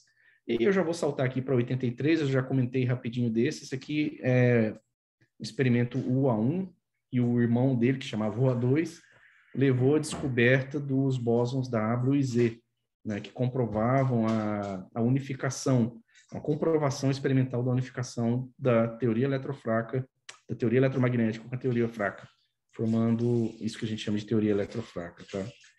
É, isso aqui já é na década de 80, então você vê que a gente agora já tem análise das imagens, já é algo computadorizado, né? Até então, o pessoal fazia análise era no olhão mesmo, tá? é, década de 60, década de 70, quem ia fazer doutorado, isso aí o meu orientador me dizia isso, tá? Quem fazia doutorado nessas, nesse período aqui, né, passava horas e horas, tá? Com, analisando essas fotografias, centenas de fotografias, para tentar identificar os fenômenos que aconteciam ali. Anos 80 para frente, né, com o advento da computação mais acessível, né, o pessoal começou a digitalizar esse tipo de informação.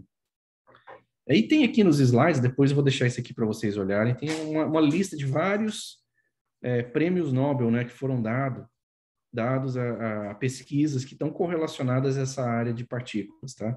Desde a descoberta lá dos raios-x, da radioatividade, é, do núcleo atômico, né? É, técnicas de, de, de, medidas, né, como a, a câmara de, de nuvens, é, descoberta dos raios cósmicos e por aí afora vai. Você vê que são vários prêmios Nobel que já foram dados é, nessa área de física de partículas, tá? Aqui eu parei em 2002, né? Mas aqui a gente já poderia adicionar, por exemplo, 2013, que você teve aí a, a, o prêmio Nobel dado ao Peter Higgs e ao François Angler pela, pela, eles criaram um modelo que previa a existência do bóson de Higgs, né? Então, os experimentos do LHC comprovaram experimentalmente essa existência. É, e, e, e, eu acho que essa lista ainda tem muita coisa ainda para ser adicionada aqui. A gente, por exemplo, tem a questão da matéria escura, tem a questão da expansão do universo, a simetria matéria e antimatéria e vários outros fenômenos. Tá? Eu vou só, nos últimos minutos aqui, passar rápido por alguns detetores que a gente tem hoje em dia. Tá? Detetores, eu estou dizendo aqui, chamando eles de modernos. Tá? É, e aqui nós vamos ter uma pequena animaçãozinha sobre o LHC. Então, esse videozinho vocês veem um túnel por onde passa o, o Large Hadron Collider. Tá? Dentro do Large Hadron Collider circulam feixes de prótons, tipicamente.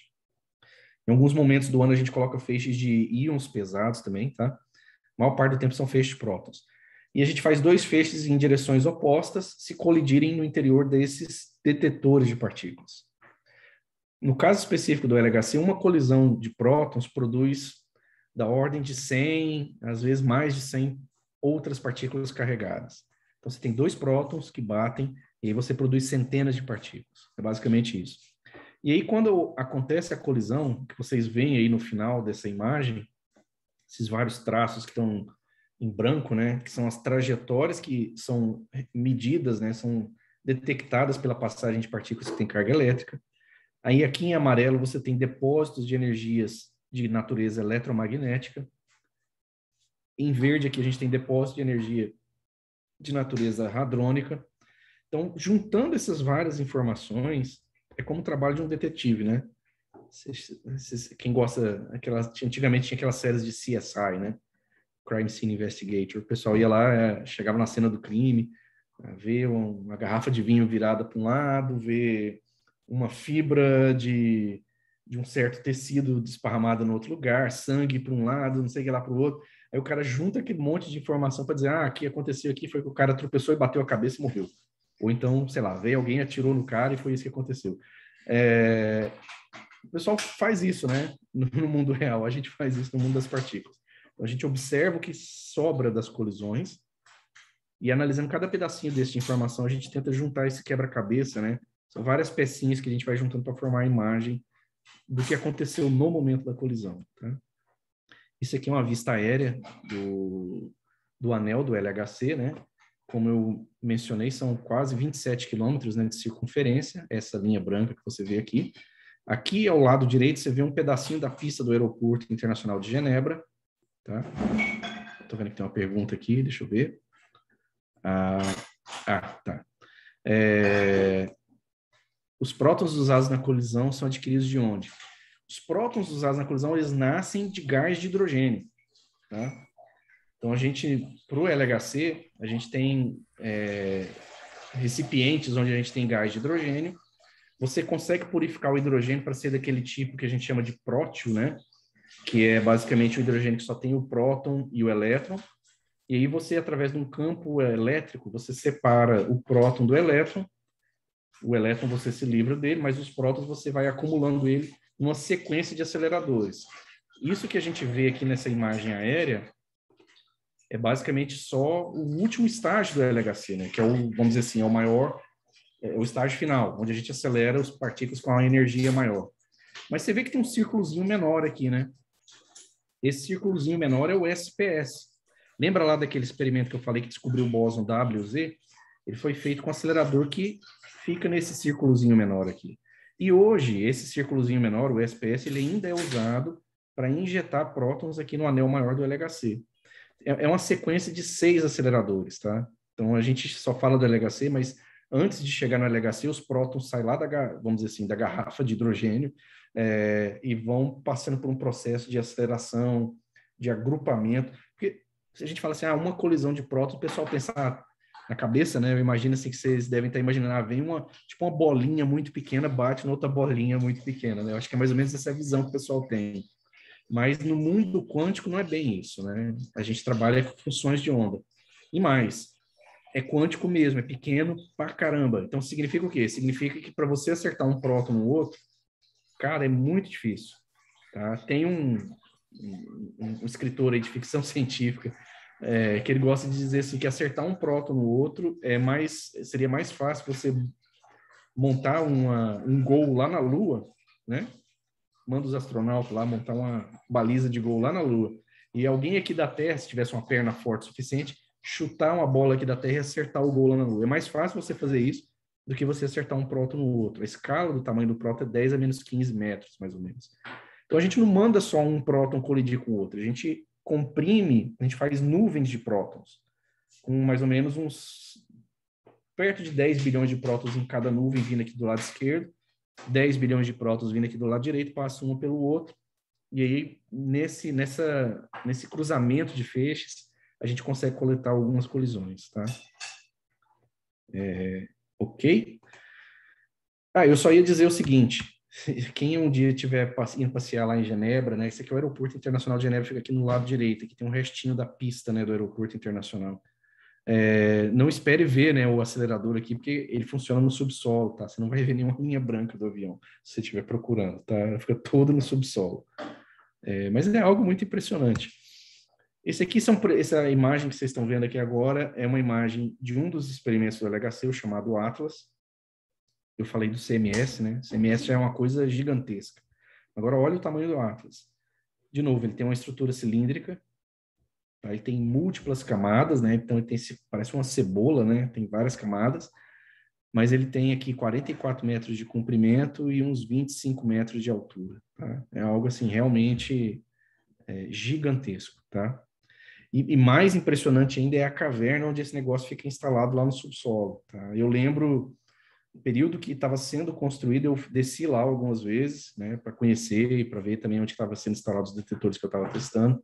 É, é, algo surreal. Tá? E assim, em momentos quando o detetor e o acelerador estão desligados, é possível se visitar alguns desses lugares, tá? Então é, é algo bem bacana se fazer se um dia você tiver oportunidade, tá? Eu falei nas camadas, né? Essa vista, que, essa imagem que tem aqui nesse slide, é como se fosse um. Você faz um corte, imagina um rocambole, você corta uma fatia do rocambole e você olha de frente essa fatia. Corte transverso que a gente fala, né? E aí você vai olhar as várias camadas. Você vê que a região do feixe, onde passa os feixes prótons, é o que está aqui embaixo, esse círculozinho, né? Seria onde passa o feixe prótons. E aí daqui para fora você tem aqueles, é, você tem uns, uns 12 metros de equipamento. Então mais próximo você vê que você tem camadas que está é, representado basicamente por uma linhazinha que são detetores que medem a trajetória das partículas que têm carga elétrica. Aí depois você tem aqui calorímetro eletromagnético, calorímetro hadrônico. Cada tipo de, de detetor que você usa, por exemplo, esse aqui é uma vista do Atlas, né? Você vê que cada tipo desses componentes, ele foca num tipo específico de partículas. Então, por exemplo, toda partícula que tem carga elétrica vai deixar uma trajetória. Por isso você vê uma linha cheia aqui para o próton, você vê uma linha cheia para o elétron, uma linha cheia aqui para o muon.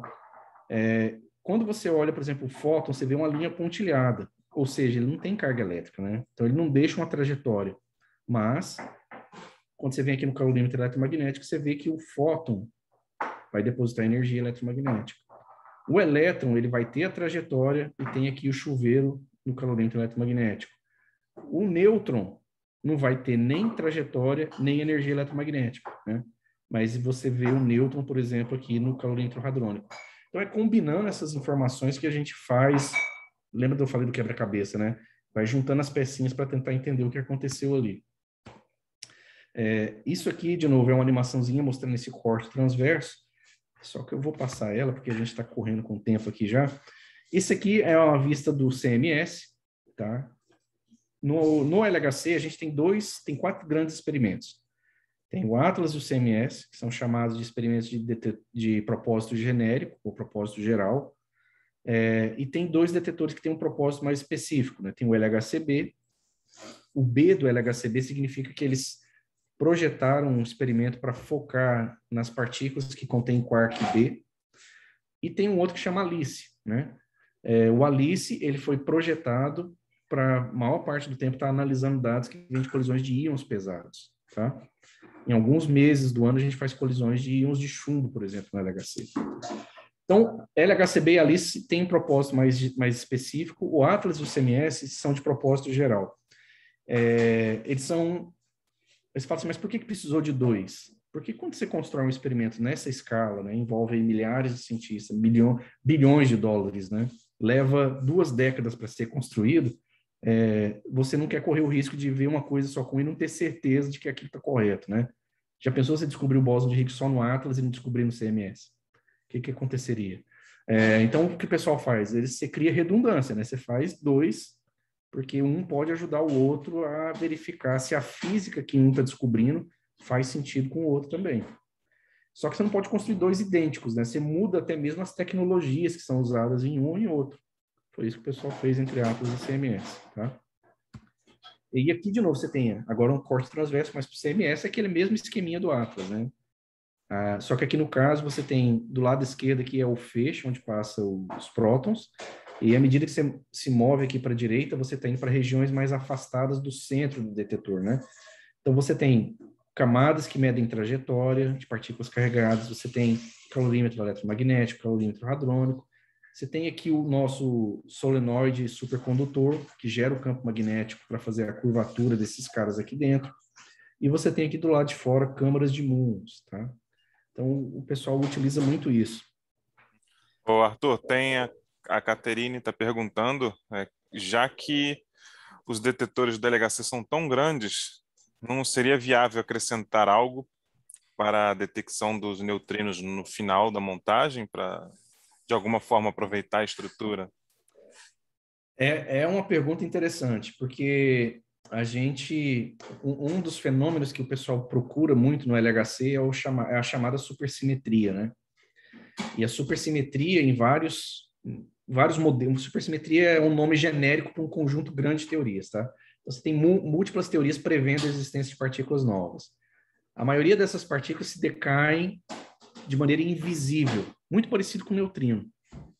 Então, a pergunta é, poxa, por que, que não poderia, já que esses detetores são grandes, por que a gente não poderia adicionar mais material para estudar os neutrinos? Uma questão que é importante é a quantidade de radiação que a gente lida, por exemplo, no experimento tipo LHC. Então, o LHC, a gente tem uma taxa de colisões que é da ordem de 40 MHz, tá? que são, então, 40 milhões de colisões por segundo. Isso tudo, cada colisão dessa está produzindo aquelas centenas de partículas que eu comentei agora há pouco produziu aquelas centenas de partículas, essas partículas são absorvidas nessas várias camadas, né? Então, para você detectar neutrinos, neutrino é uma partícula que não gosta de interagir de maneira alguma, né? Eu vou mostrar, quando a gente chegar na parte lá de detecção de partículas neutras, vou mostrar um experimento que tem lá no Japão, que chama Super Kamiokande, né? Eles têm uma piscina gigantesca dentro de uma montanha, e eles usam essa piscina que tem milhões de milhões de litros d'água né, para detectar um neutrino que vem do Sol. Então, são partículas que precisam de um meio de interação muito grande e, ela, e a chance de você detectá-las é muito rara. Então, seria inviável fazer isso no LHC por duas razões. Primeiro, você precisaria ampliar muito a escala do LHC. Eu falei, eu estou repetindo que ele é grande, e realmente é grande, mas para se estudar neutrinos com precisão, precisaria fazer algo maior e precisaria usar material tipicamente de alta densidade, tipo metais pesados, né? E isso, metais pesados nesse ambiente do LHC absorve muita radiação. Então você teria esse conflito, sabe, entre querer detectar um negócio que posteriormente vai estar gerando um, vai trans, transmutar um, um material que você está usando ali em material radioativo. Então não é o ideal, tá, fazer isso no LHC. Aí você fala assim, ah, mas quer dizer então que a gente não detecta? Não, a gente detecta neutrinos. Como que a gente detecta neutrinos? Se você tem, por exemplo, um decaimento de um muon, você consegue detectar o decaimento de um muon, você vai pegar ali todos os pedacinhos do muon, exceto o neutrino. Então, você consegue cinematicamente dizer e provar que você tem um neutrino é, olhando as outras partículas que foram produzidas em volta. A medição direta pelas características do neutrino e pelo funcionamento do LHC, não é viável, tá? Então tem essa questão da radiação e tem a questão, eu acho que tem questão de custo também, tá? Você tem que pôr muito material em volta ali, tá bom? Tipicamente, quando você vê experimentos que detectam neutrinos, que estudam neutrinos, eles usam, é, eles bombardeiam, eles usam um feixe de prótons, bombardeando um alvo fixo. Esse alvo fixo produz pions, por exemplo, essa colisão do feixe de prótons com alvo fixo produz pions.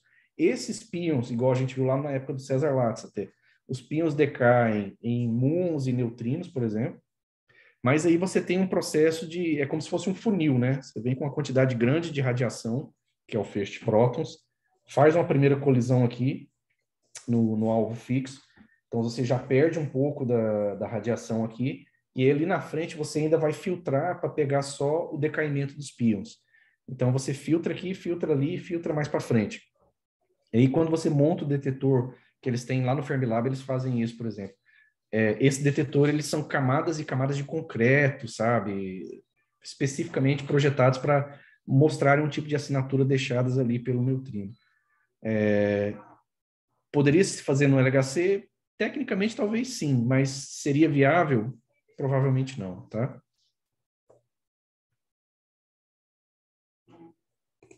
E aqui, só para completeza, né?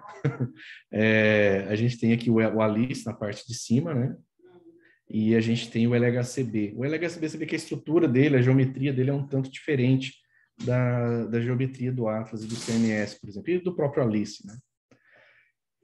É, os detetores de raios cósmicos, né? Então aqui tem uma imagem eu acho bacana, né? De, por exemplo, você tem uma supernova emitindo aqui esses chuveiros de raios cósmicos que estão chegando aqui na, na, na, superfície, né?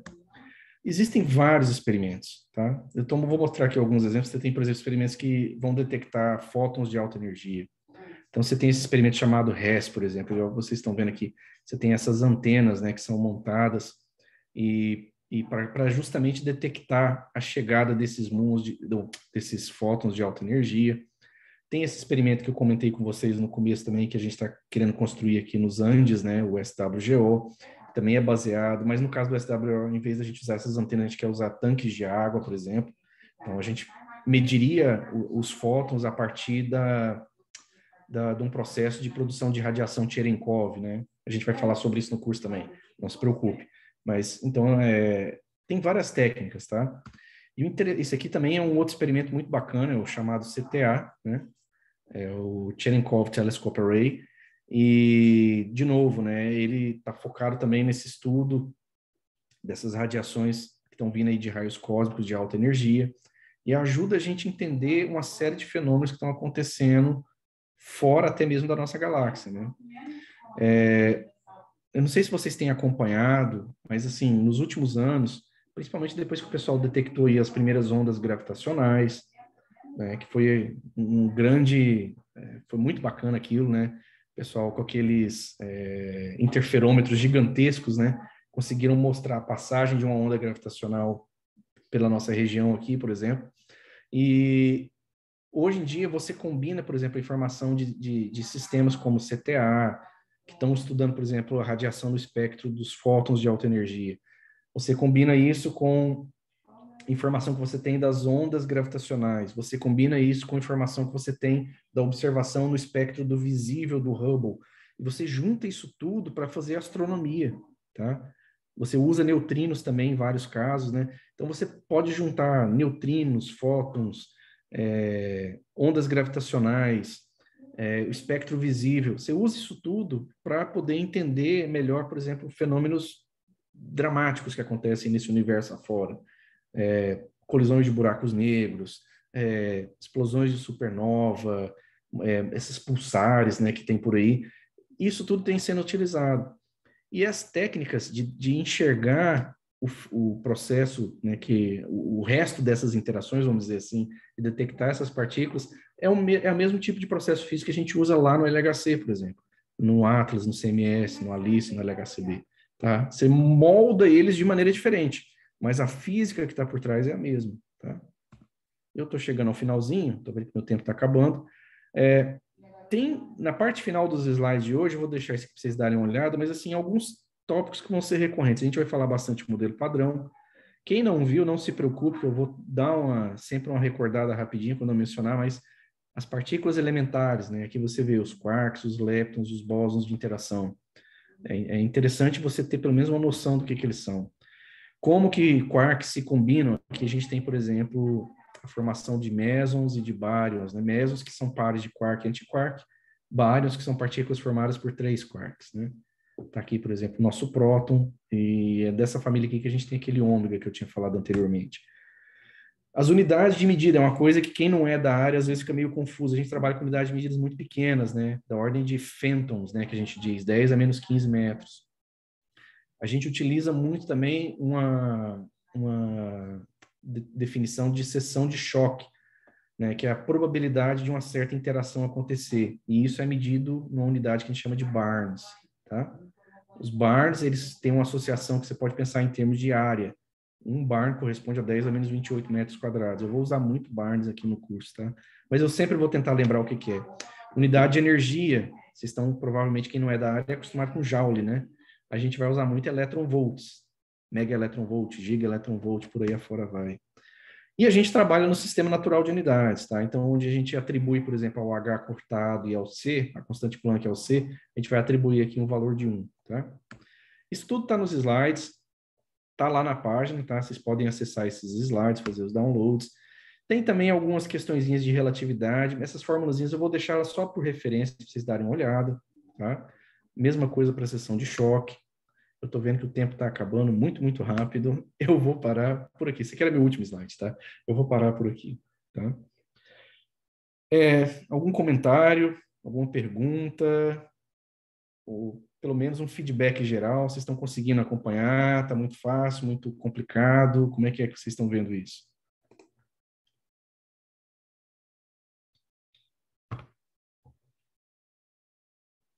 Tem gente que está gostando. Se, alguém não está gostando e não quiser pôr no chat, não se acanhe, não pode mandar o um e-mail para mim, tá? Fala, professor, tá muito simples. É, mas assim, a gente vai ter momentos que a gente vai dar uma acelerada mais, vai ter momentos que eu vou gastar um pouco mais de tempo, tá? Porque a ideia é tentar, nas próximas aulas agora, focar mesmo nessa questão do, dos processos físicos, tá bom? Tá bom, pessoal. Eu falei demais hoje, eu tenho esse problema, tá? Quando vocês verem que o professor tá falando demais, fala, professor, vamos fazer um break e tal, tá falando demais, tá cansativo. É, mas eu prometo que eu vou fazer a pausazinha nas próximas aulas, tá? Quero agradecer a todo mundo pela presença aí hoje, tá? Agradecer o Eduardo aí por ajudar, o pessoal da parte técnica também, tá bom? Tem uma pergunta aqui, deixa eu ver. As gravações das aulas ficarão disponíveis? Sim, ficarão disponíveis. Eu só não sei exatamente quando é, tá? É, vai ficar disponibilizado para vocês que estão registrados. Vocês vão ter como acessar isso tudo depois, tá? Inclusive, se alguém, por algum motivo, né, falha de conexão, perder uma aula e tal, não, não entre em desespero. Tá? A aula vai estar disponível, tá bom? E no mais, eu acho que é isso, pessoal. O rapaz, o pessoal da parte técnica me disse que em algum momento a coisa corta, assim, que é, é, é igual uma, uma, espada de samurai, né? É rapidão. É, eu quero agradecer vocês de novo, tá? Pedir para vocês retornarem amanhã, tá? Amanhã a gente vai entrar, então, na parte da interação da radiação com a matéria. E aí a gente vai começar a ver exatamente o que um colega de vocês tinha perguntado no início da aula. Como é que realmente a gente enxerga essas partículas com os detetores? Tá? Nós vamos começar a falar um pouquinho mais sobre isso. Tá? Muito obrigado, gente. É, eu acho que vocês têm mais uma aula agora à tarde, né? Boa aula, boa escola para vocês, tá bom? E vejo vocês amanhã, mesmo horário, tá? Muito obrigado. Tchau, tchau.